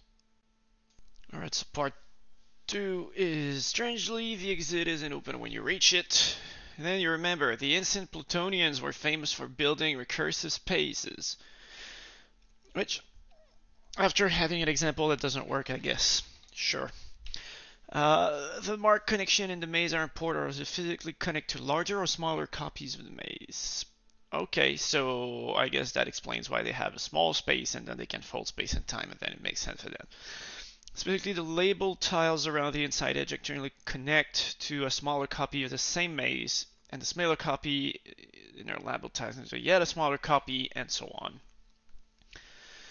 When you enter the maze, you are at the outermost level. When at the outermost level, only the outer labels A, A, and Z function at the start and the end respectively. All the other other labels are effectively walls. Okay, at any other level, A and Z count of walls, but the other row. Okay, so at the base level, on the outer walls, only the entrance and exit work, but on the other levels, it's the opposite. Through the maze, that brings you back to uh, the outermost level of the maze. Okay. In the first example above, the shortest path is now the loop around the right side. Okay, uh, the example of, let me, boom. Uh, and I have them in day 20. Read only. Okay. Here we go. That one needs to scroll now. In the first example above, the shortest path is now the loop around the right side. Yep, get that. Uh, if the starting level is 0, then taking the previously shortest path would pass through BC to level 1, which I guess it would be here, but one level higher, to DE, which will be to level 2, which is higher, and then DE would exit there and would be to FG, which is to level 1. Okay, so the outer layer decreases the counter of levels, and um, level 0 inside goes up. Okay. I think that kind of makes sense. In the second example above, there is no path. At least the broken example won't be coming back to haunt me. Oh, crap. Okay, here's a more interesting example. Screw you. Uh, shortest path through the maze is the following. Okay, AA to XF. AA is. Jeez. AA to XF, and then that gets up a left. Okay, I think I understand it. Um, of course, the thing is going to be to retransform our portals, which at least now are labeled uh, because of all the fighting I did with step one, and that turned out to be good. Um, I need to have a way to figure out if a portal is inner or outer. And uh, I'm guessing that. How am I going to do this? I'm going to leave the part one as it is. I'm going to destroy part two, example two. It is garbage that nobody should rely on. Boom, it's gone now. Two maze, two levels, I guess. Um, and I will need to Actually, I don't want that to the part one. Uh, so input is still going to be the same, I guess. BFS to level.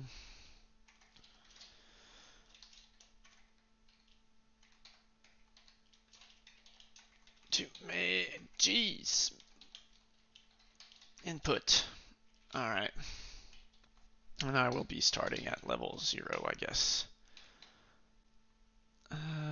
Uh, BFS, a different thing. I'll make different variations of it, I guess. So, how do I handle my levels? I'm going to go back to this form here. And uh, the thing I will probably need is to um, know, you know, the label starts at which position. Like, what's the top corner of each of them where there is a wall. And I will know that the um, labels are outside of there, or that they would be in the limits something. What did I do? Uh, da, da, da. Oh yeah, that one is up. Why is it complaining now? There before, yeah. Screw you, I don't care. Two levels doesn't exist. Okay. Um, maybe I'll need the input, but we'll see. Now let's get here into. That's just going to be a map.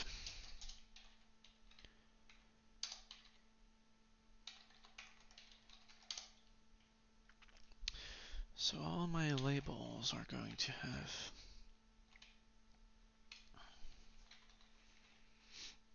So I know that those that have uh, at least you know um, y smaller than or equal to 2 and uh, x smaller or equal to 2 are going to be outer.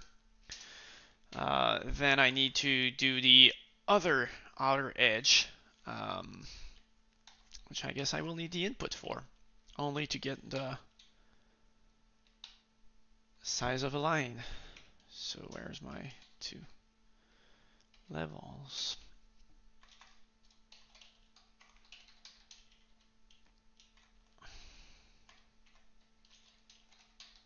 Input again, uh, I will need it for. I really dislike how uh, my Vim here seems to be dying with all of these things.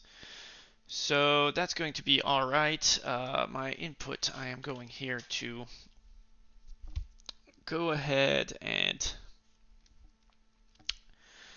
um,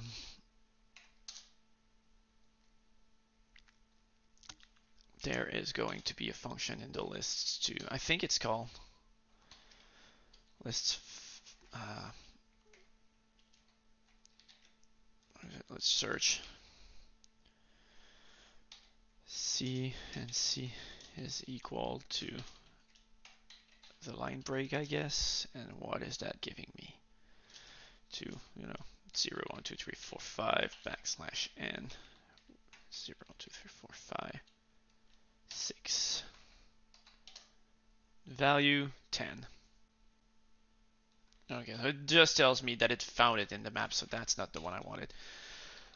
Um, what was the one? Not take. Well, yeah, I could do uh, just a take while and c is not equal to n. Then it will give me the length of the thing I want, and that's going to be my line length. So, uh,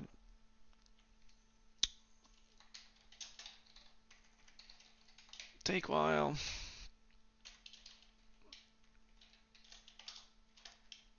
C is not equal to a line break.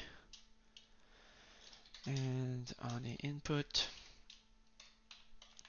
and length of that minus 2, this is my um,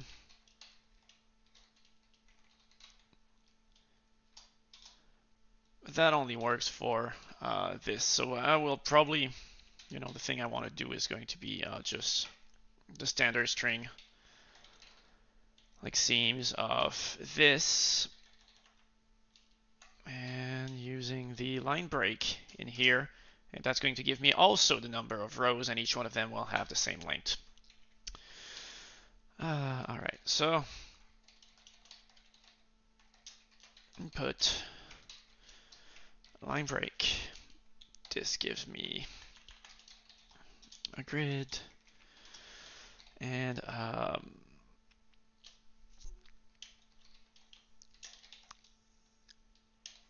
um, order up is going to be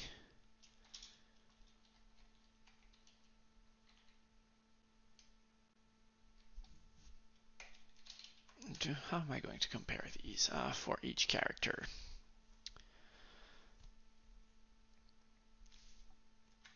So, uh, okay, so my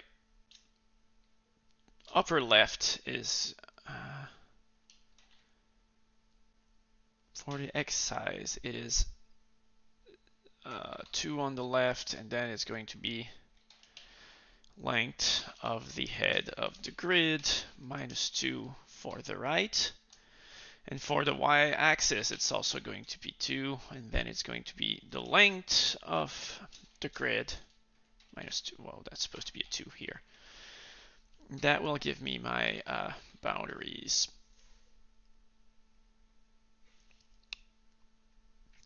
Okay, so what I can do is that I have the map. Um, I'm going to fold. I'm going to still use a list of all the labels. So my labels are labeled uh, on the coordinate. So it's going to be the coordinate and then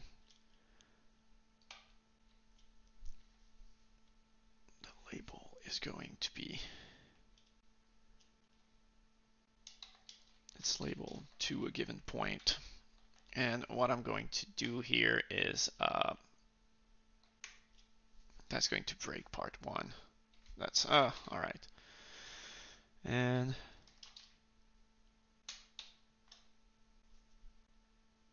the level of p is going to be stored here for each of them so that's going to be that's the thing I want. So uh,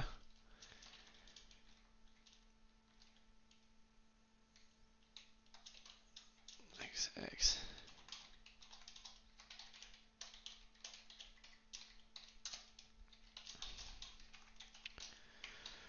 Um, and what I'm saying max y is length of the grid minus 2, I think.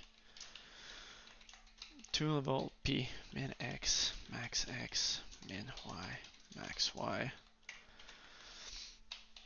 And that will be for maps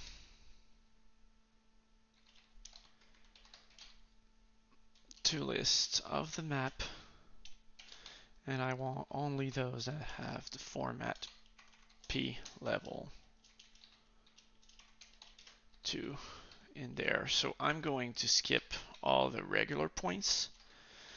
Um, maps from list of this is going to be I'm going to do that after the fact right now. I just want to make sure that all my grids and my points are right.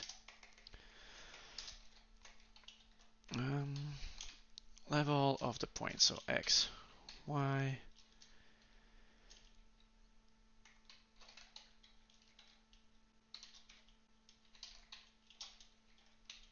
max.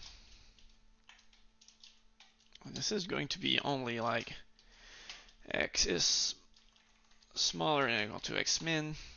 I think so. Let me, I had output in here.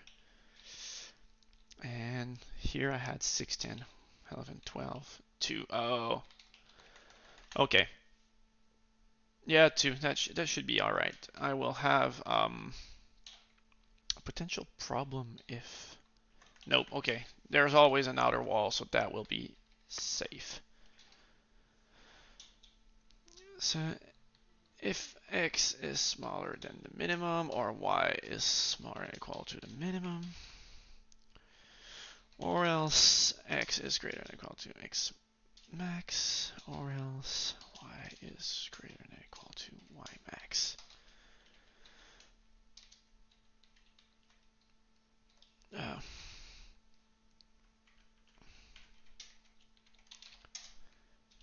if that's true, that's level 0. It's that false, that's level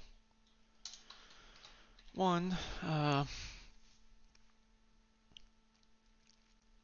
I don't have my exceptions for A and A, but we'll see what that gives me for now. L5, but it's called here. Here, alright. Of course. I'm very tired with this problem already.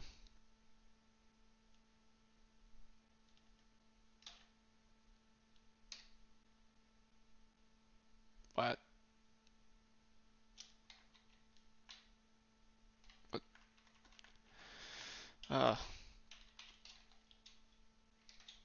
So, uh, is tuple 2.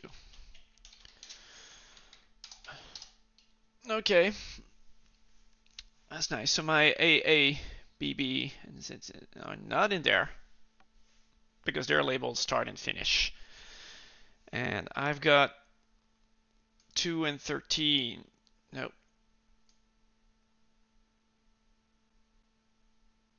Six and ten shouldn't. Yep. 11, 12, 2, 13. Oh, that's uh, problem one, right? There should be three that go indoors.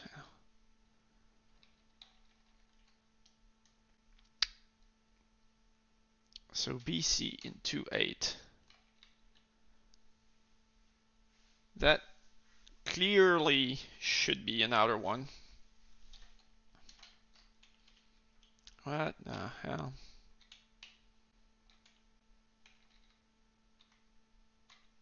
Did I? Or else, or else, or else. Yeah, okay. Is it, uh... I don't think that has to do with this.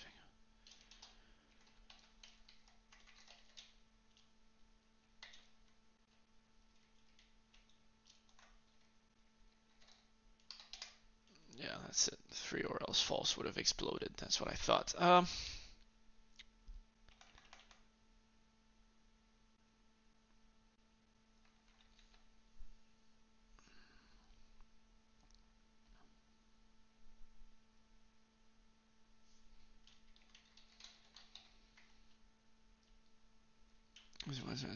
was the outermost that they called. I'm just going to use numbers because it's going to be way easier to add stuff anyway.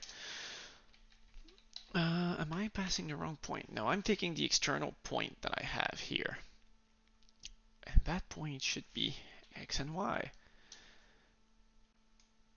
And I can't understand why. Okay, 2 and 8, that's smaller, that's true. It's 6 and 10, that's alright. 9 and 6.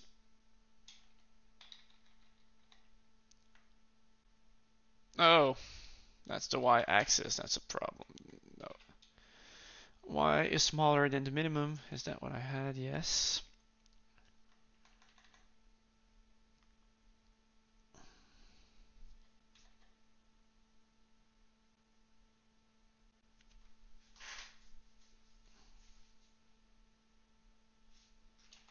I don't, okay.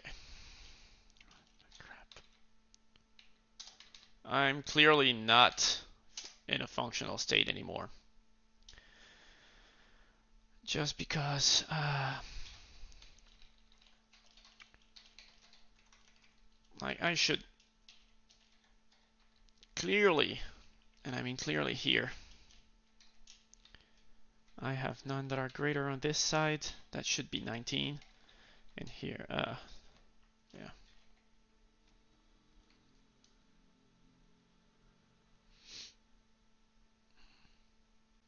I'm just blinking looking at my screen and frankly uh, I'm not feeling like doing these anymore. I've got more interesting things to do than this. I'm going to take pause and a break and do it at a later point. I don't give a crap anymore. Uh, Alright, the thing I'm going to do is... I'm just going to... Not this, just tracing the freaking output. That doesn't work. Level. Ah. Not having fun anymore. It's not going to be called that many times.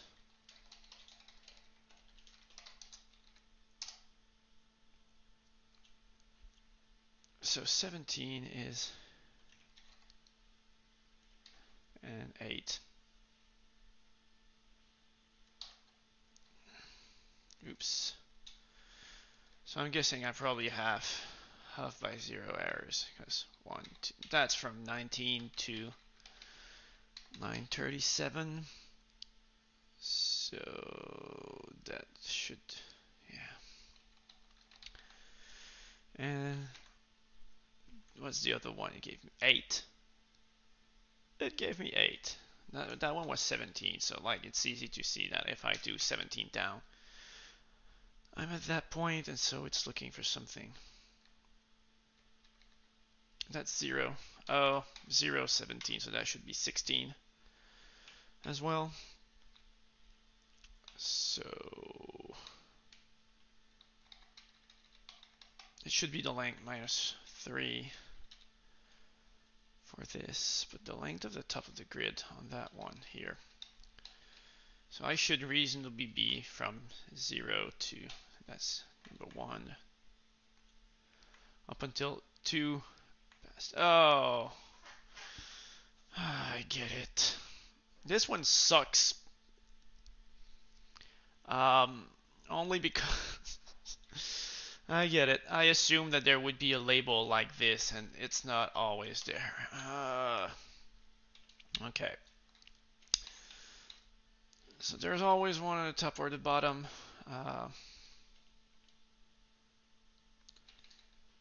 and where is my thing?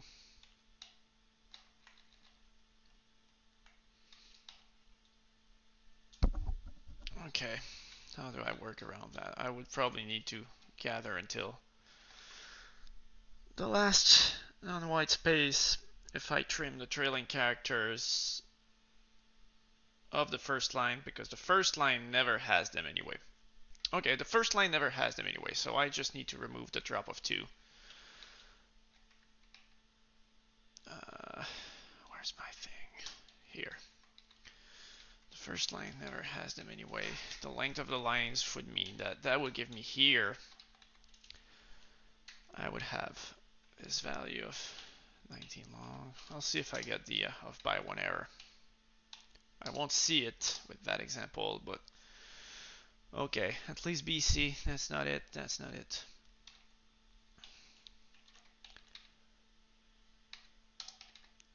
Example, so now it's 10 and 16.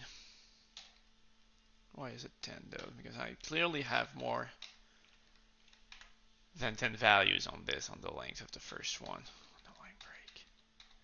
Oh, the first one is the one with the A, so I need to have the third line for that thing. God damn it. Uh, where's my thing here? Third line of the grid is going to work because there's always one at the top. And here we go, half of them. DE1, DE0, FG1, FG0, BC0, and BC1. So now they're labeled. Um, what I need to do then is I can just do a map insertion of all of them. So uh, fold of the these elements. Uh, that's going to be the key and the value and the map. Then I am going to put in the map the key and the value. And that's it. And I will fold starting with the map as the accumulator. And my list is going to be this charming old thing here. And now, and I run the example, then I do get the level for each of them. If I go for all of these, oops. For all of these, then the finish will be covered. And okay. So now I can start hooking that one up into BFSL, which is just going to care about levels. And I'm starting uh, where's my okay. I hate when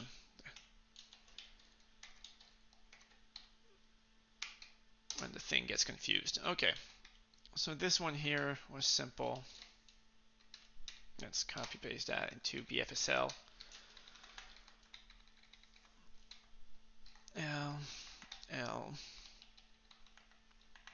L. Uh, I'm going to start from, where am I going to store the level? I will have to store the level on this thing where I have the length of the path and I'm going to store the level there as well. I think.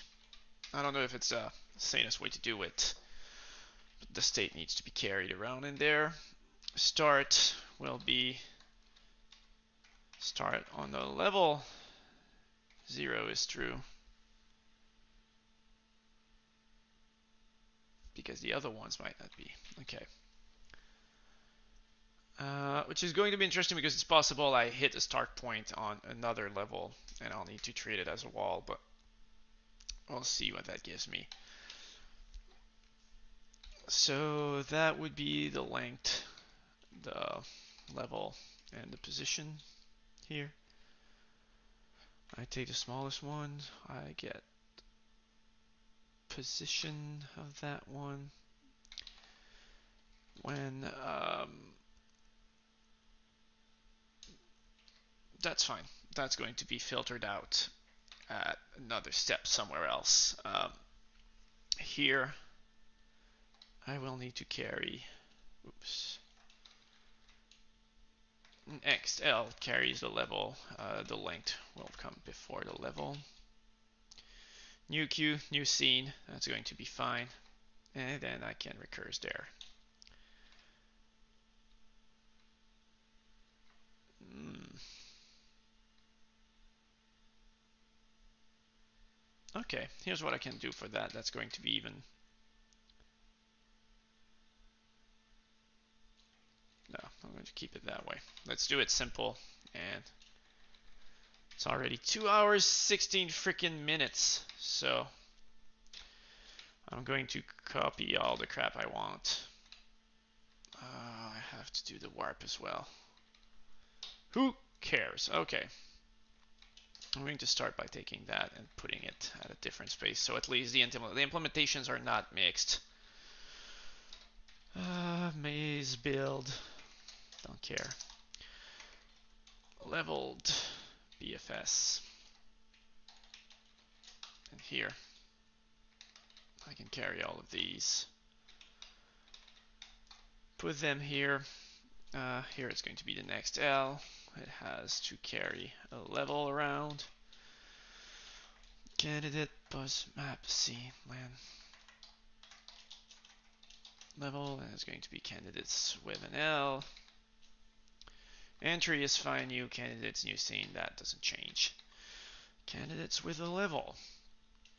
And level. I'm going to just change all the calling notations on that one. Before I actually address the stuff. And here should be warp with a given level. Warp with a given level that... Uh, don't care for the level here. I will care here.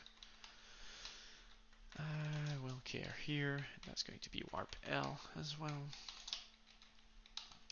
This is gone. Warp L, warp L. And I care for the level after the length. Okay. So, does that explode? Yep, forgot to rename a few already. Let's start that way before getting further out. Okay, now it works. Well, it works. It no longer complains loudly. So I have the level, I have the thing, and um, here is where I'm going to do a thing. Level remains the same in that case. Uh, when I see a label, now it's no longer going to just be this. I now have um, level change. And I believe I... Uh, okay, yeah, that's a good thing to do. So when I do my levels, I'm going to use minus 1 if it's an outer and plus 1 if it's 1 there. Um, here I have my level change value. This is a very noisy function now. Uh, not the biggest fan of it at this point. Uh, and I'm going to actually have to care here. If it's a tuple, I have to uh, care for this, but if is tuple v, and also um, element 3, if it is it, let me split my screen because now it's getting tricky to understand. I'm trying to just patch it up. The level is the third element, so, and also,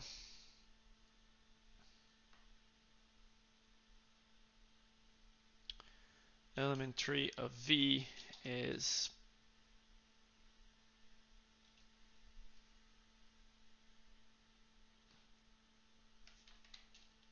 I can put these in a parenthesis. Also, if the third element of it is minus 1, okay, so I need to do my little thing here. So if level is 0, no, if level is greater than 0 and also element is minus 1. So that means that I'm going to an outer wall while I'm above, which means that this is allowed. Okay. Uh,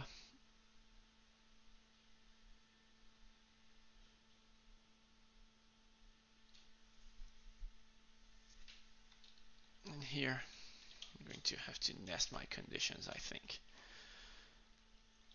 or else uh, the level is zero Yeah, if I'm if I'm above zero, all levels are good, right? I think so.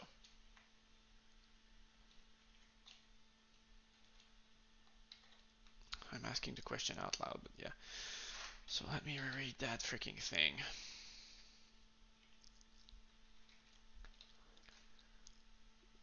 Yeah, if I look at it, insides let me go to higher levels, outside only to lower levels. So if the level is greater than zero, then it's always good. Or else, if the element is the outer wall, now if the element is 1, uh, and also I can always go inside okay or else the level is exactly zero, and that's the case. If the if it's exactly zero, then I need the element 3 to be equal to 1. And I think that should probably work. And I have not seen the thing.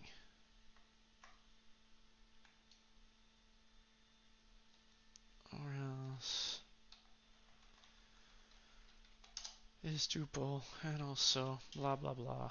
Close that one. And I have not seen the element but the P is also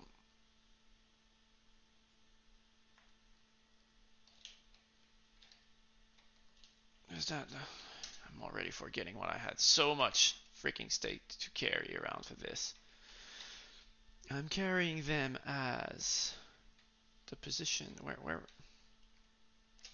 Here. Yeah the level follows. Okay.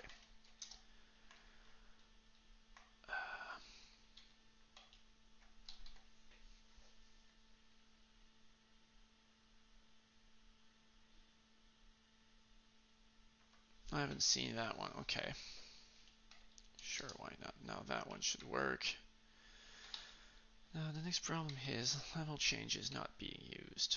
So assuming it is valid, um,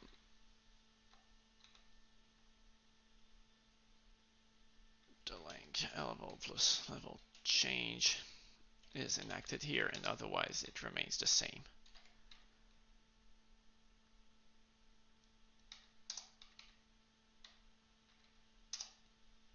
Yeah, key exists. So my filtering of seen elements is now, oh yeah, here. It's P.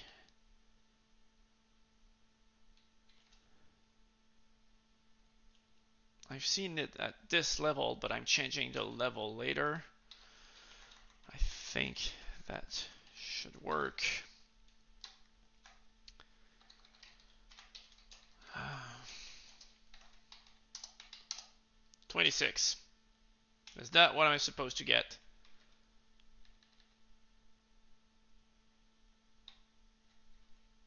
Because this is either well, the only option is to go back to BC, which is deeper. In the second example, there is no path that brings you to.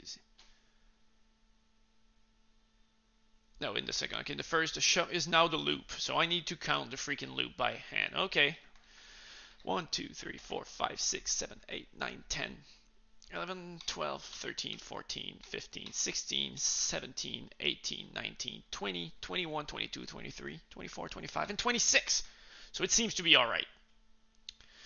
Now let's get their freaking larger example, which will end on the line below IC. You know what? Let's be cowboys.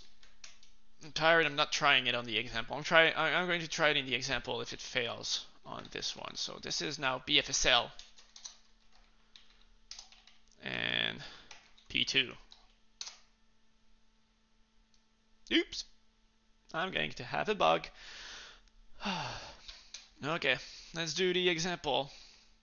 God damn it. I'm having absolutely no fun doing this right now. I'm not enjoying myself. this fucking garbage again. Paste mode. Oh, Auto indenting bullshit. Now it's still complaining about all the syntax highlighting that blew up. CK and IC is, uh, I'm going to need three paste. I'm on the line below CK and IC.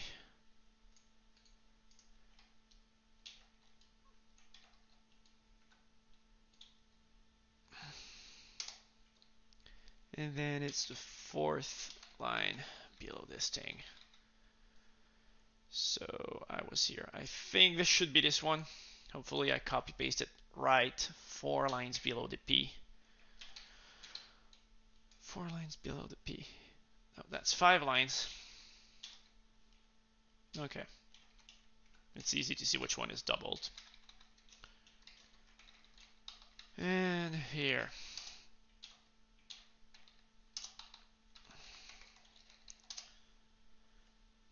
Take the smallest. It's going to be so annoying to trace into this freaking maze because they have limited examples that give or carry no meaning whatsoever. And I'm just tired of this freaking problem. Um, no, okay format, it's going to be just a freaking thing each step.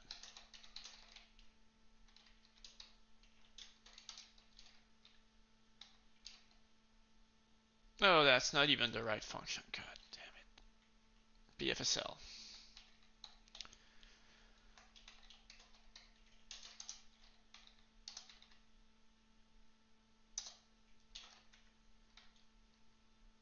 That's cool. I'm never finding any way of going down.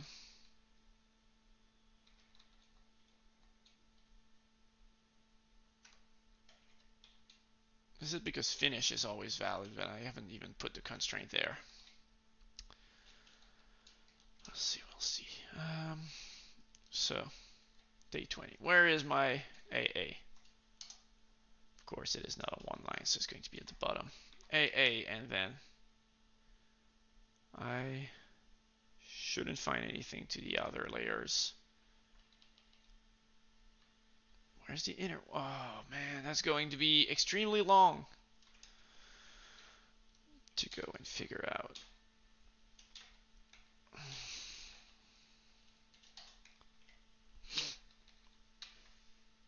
I'm taking the smallest one. That's fine. Oh, uh, yeah, I should just be sorting it by length. The level is going to be the closest one to the ground.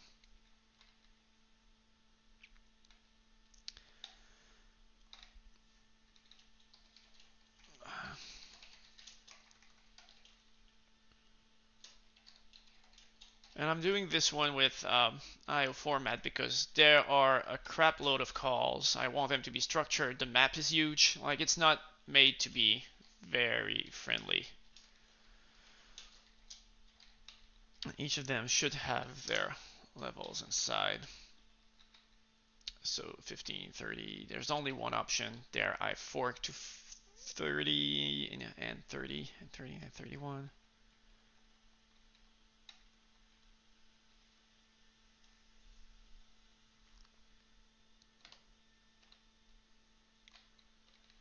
And I'm ending up at 16 steps in 1728. So if I want to see that one, that's going to be 28 down and 17 to the right. And I'm getting stuck to this one, which is kind of a good sign. I would at least I found one of the forks there. I'm just not getting down to that level. So that means it's my, I'm going to murder that freaking syntax highlighter. So my level is zero, and the element for that one should be this. And uh, that should be the candidate that I find at that level. So it's a tuple. And the level that I'm currently on should be 0. So I get into this clause. Also, the third element of the value. Oh, and uh, the third element of the value here should be the level change is equal to 1 because I'm incrementing the level rather than going down. And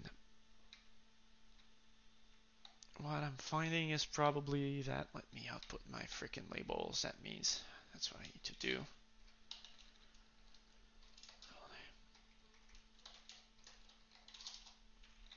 is equal to this here. Let me just do this. Oops. On the new labels, and I will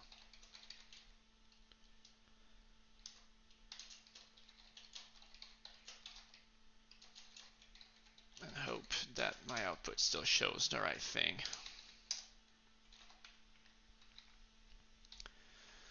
New labels, and my coordinate that I was breaking at was 1728. So 1728. That's fine. I should be at that one.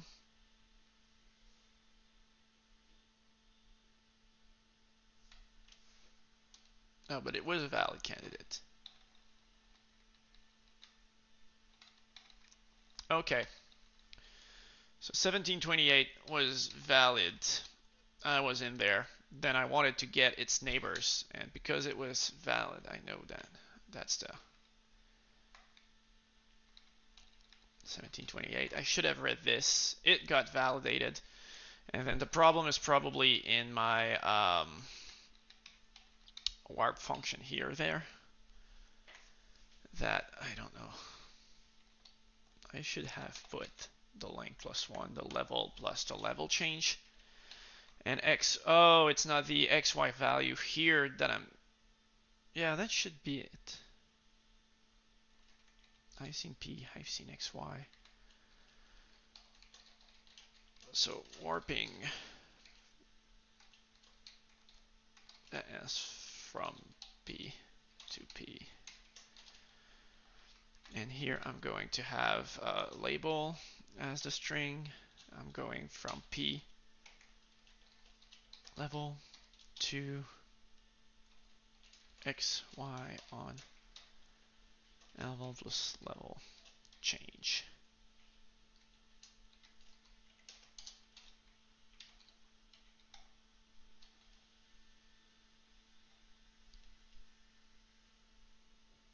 Yeah, that's good, that's good. I got three, uh, first label not needed. Level isn't bound. What?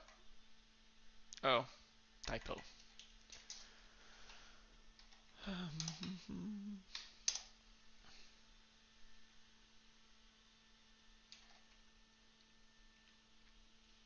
so I'm never seeing it as a warp point, am I? How am I doing this again? So label. Label 2 is a chord. Oh. Here's the problem. Alright. Which is 86. Now it completes. I don't know if that's the value they're looking for. 396. Okay, so I need to um, this is where I need to uh, put restrictions on the atom that I have here. Because right now I'm accepting any atom, which is probably, um, and also, you know, uh, V is finish. I think it's just finished, not finished. And also the level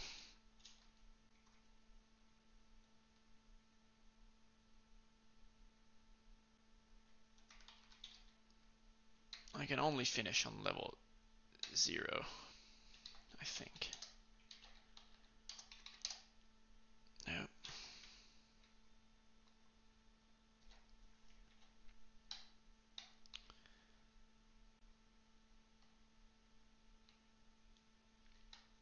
So I should only get the finish value out of the map and consider it valid if yeah. I'm only supposed to exit at which layer? Outermost layer which is zero. That should be this. What other atom atoms can I have?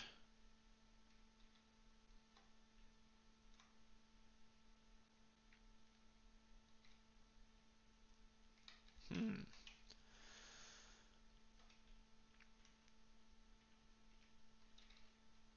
Oh, I think that might be my begin one or something.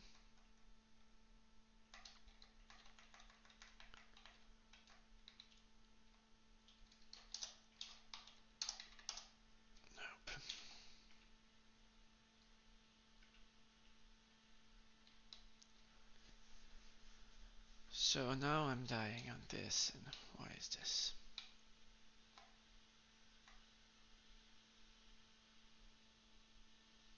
Where am I? I need to see my map again. Probably don't have it anymore. I'm pretty sure that I'm not generating an atom for any of the coordinates that I have for a regular grid. Oh, it's open. Oh god, yes, of course. Okay. V is not open. Or else the level of zero. So uh, V is open or else the level of zero. So if V is not open, level zero is acceptable for the finishing of things. Now where's that one parenthesis go? Yeah, okay.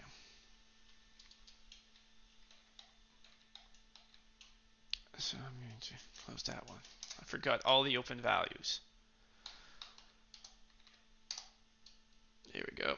Uh, this is going to be long. I'm going to kill some IO format.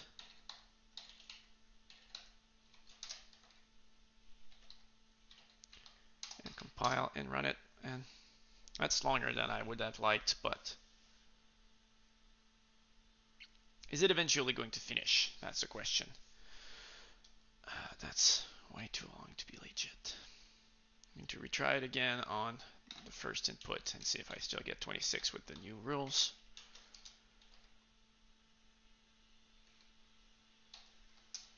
Because, oh yeah, I was getting at 800 as a value and that's 396 already. 26 still works there. So, yeah, oh, 255 depth levels. That's way high 260 I'm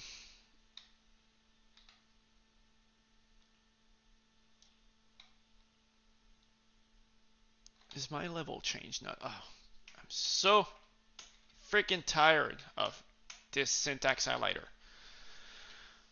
Alright, uh, I'll go think about what I could be doing wrong about my levels and come back. Okay, quick update when I'm debugging all of that stuff. Uh, I was checking my uh, warping functions and I noticed this little issue where I was um, caching only the warping point on the same level I was rather than the changing that I was about to do. So I've updated that. Uh, it's still not the right result, but at least now it's finishing. Um, it's just too short. So I'm probably skipping at a place I shouldn't and uh, that's the thing I'm going to do. Like it's weird that I'm wrapping from the same one to the same one a few times in there. Uh, I'm going to look into that. Okay, so I was going through all the steps one by one, and uh, the problem I'm seeing is just, oops, uh, I lost it. Great. Um, there was a step here where uh, WB XB to WB here, where I went from uh, here, uh, yep. I went. Please stop this. Okay. Anyway, I went from that step here, where I was at level 9, and 137 uh, steps. And um, I'm came down here through the point uh, XQ. Uh, what, where, where was I? WB2XQ. Wait a second. Okay. I was at XQ here at 131. Then from XQ I go to WB, which is a four-step thing. So here I should go there in a four-step thing, so 136. And I've got two wraps here at the same time in WB. One that is at level 2 and one that is at uh, from 2 to 1 and from 10 to 9 uh, on the same duration. And I don't know why I get this one uh, but it's clearly wrong. And um, like I want to use this, but this one is probably going to come up first or something. So there's a weird thing when I'm going down a level to this, and I don't know why I get a triple warp 2WB here. Um, but that was really, really weird. And I think that skipping these levels or something caused me a few issues. Uh, I'll double check that because I hadn't seen my triple WB here, but this is what it looks like. Yeah, I'm pretty sure this is the only reason it can be wrong uh, on this. Like, there is nowhere for this WB entry to come from uh, at 136 steps because there's only one big thread that goes up. So I do uh, weird double enqueuing when going inside of uh, one of the portals which is weird because I should do uh, plus the level change and I should have only one of them when I'm doing my warp. Um, so one of the things I'm going to do is where's my BFSL I'm going to add here my um, uh, screw this formatter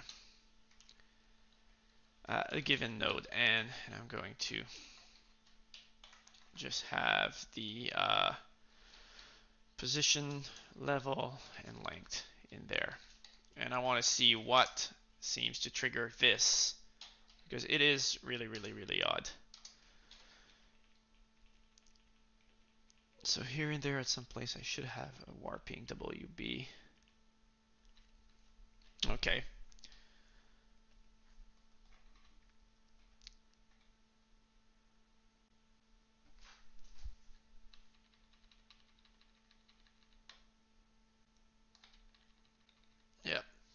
So, 19.3 on the level 2 is very intriguing that point of view.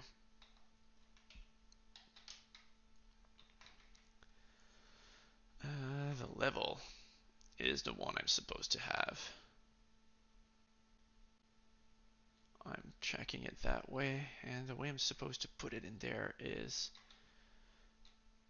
the level the point and the length first. So how do I go from, I'm going to track the candidates as well, just because, no, the candidates would come first here. Um, that would be an enqueuing thing. Yeah, I'm going to output the candidates that I would get otherwise, which I warp and I put here.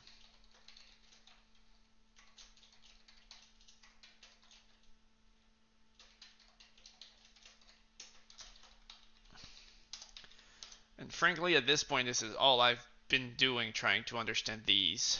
Where's my big warping for WB? Warping CJ, RF, FD, RE, where are these? Okay, I'm still lower. And HRE, IC, XQ, WB, WB.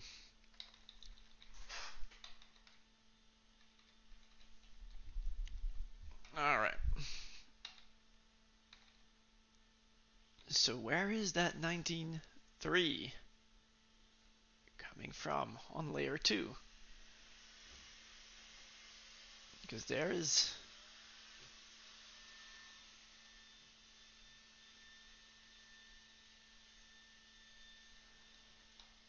so 19.3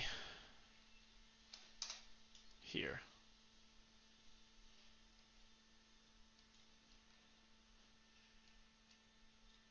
Okay. I've got 19.3 on layer 2 and 19.3 on layer 10. What's the map looking by? Of course, they could all be connected from the same thing, but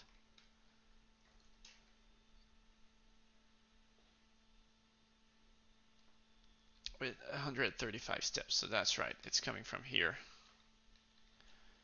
Okay, it's not even an invalid one, it's just part of the paths that I've been trying. So more search for me. Okay, I think I got it.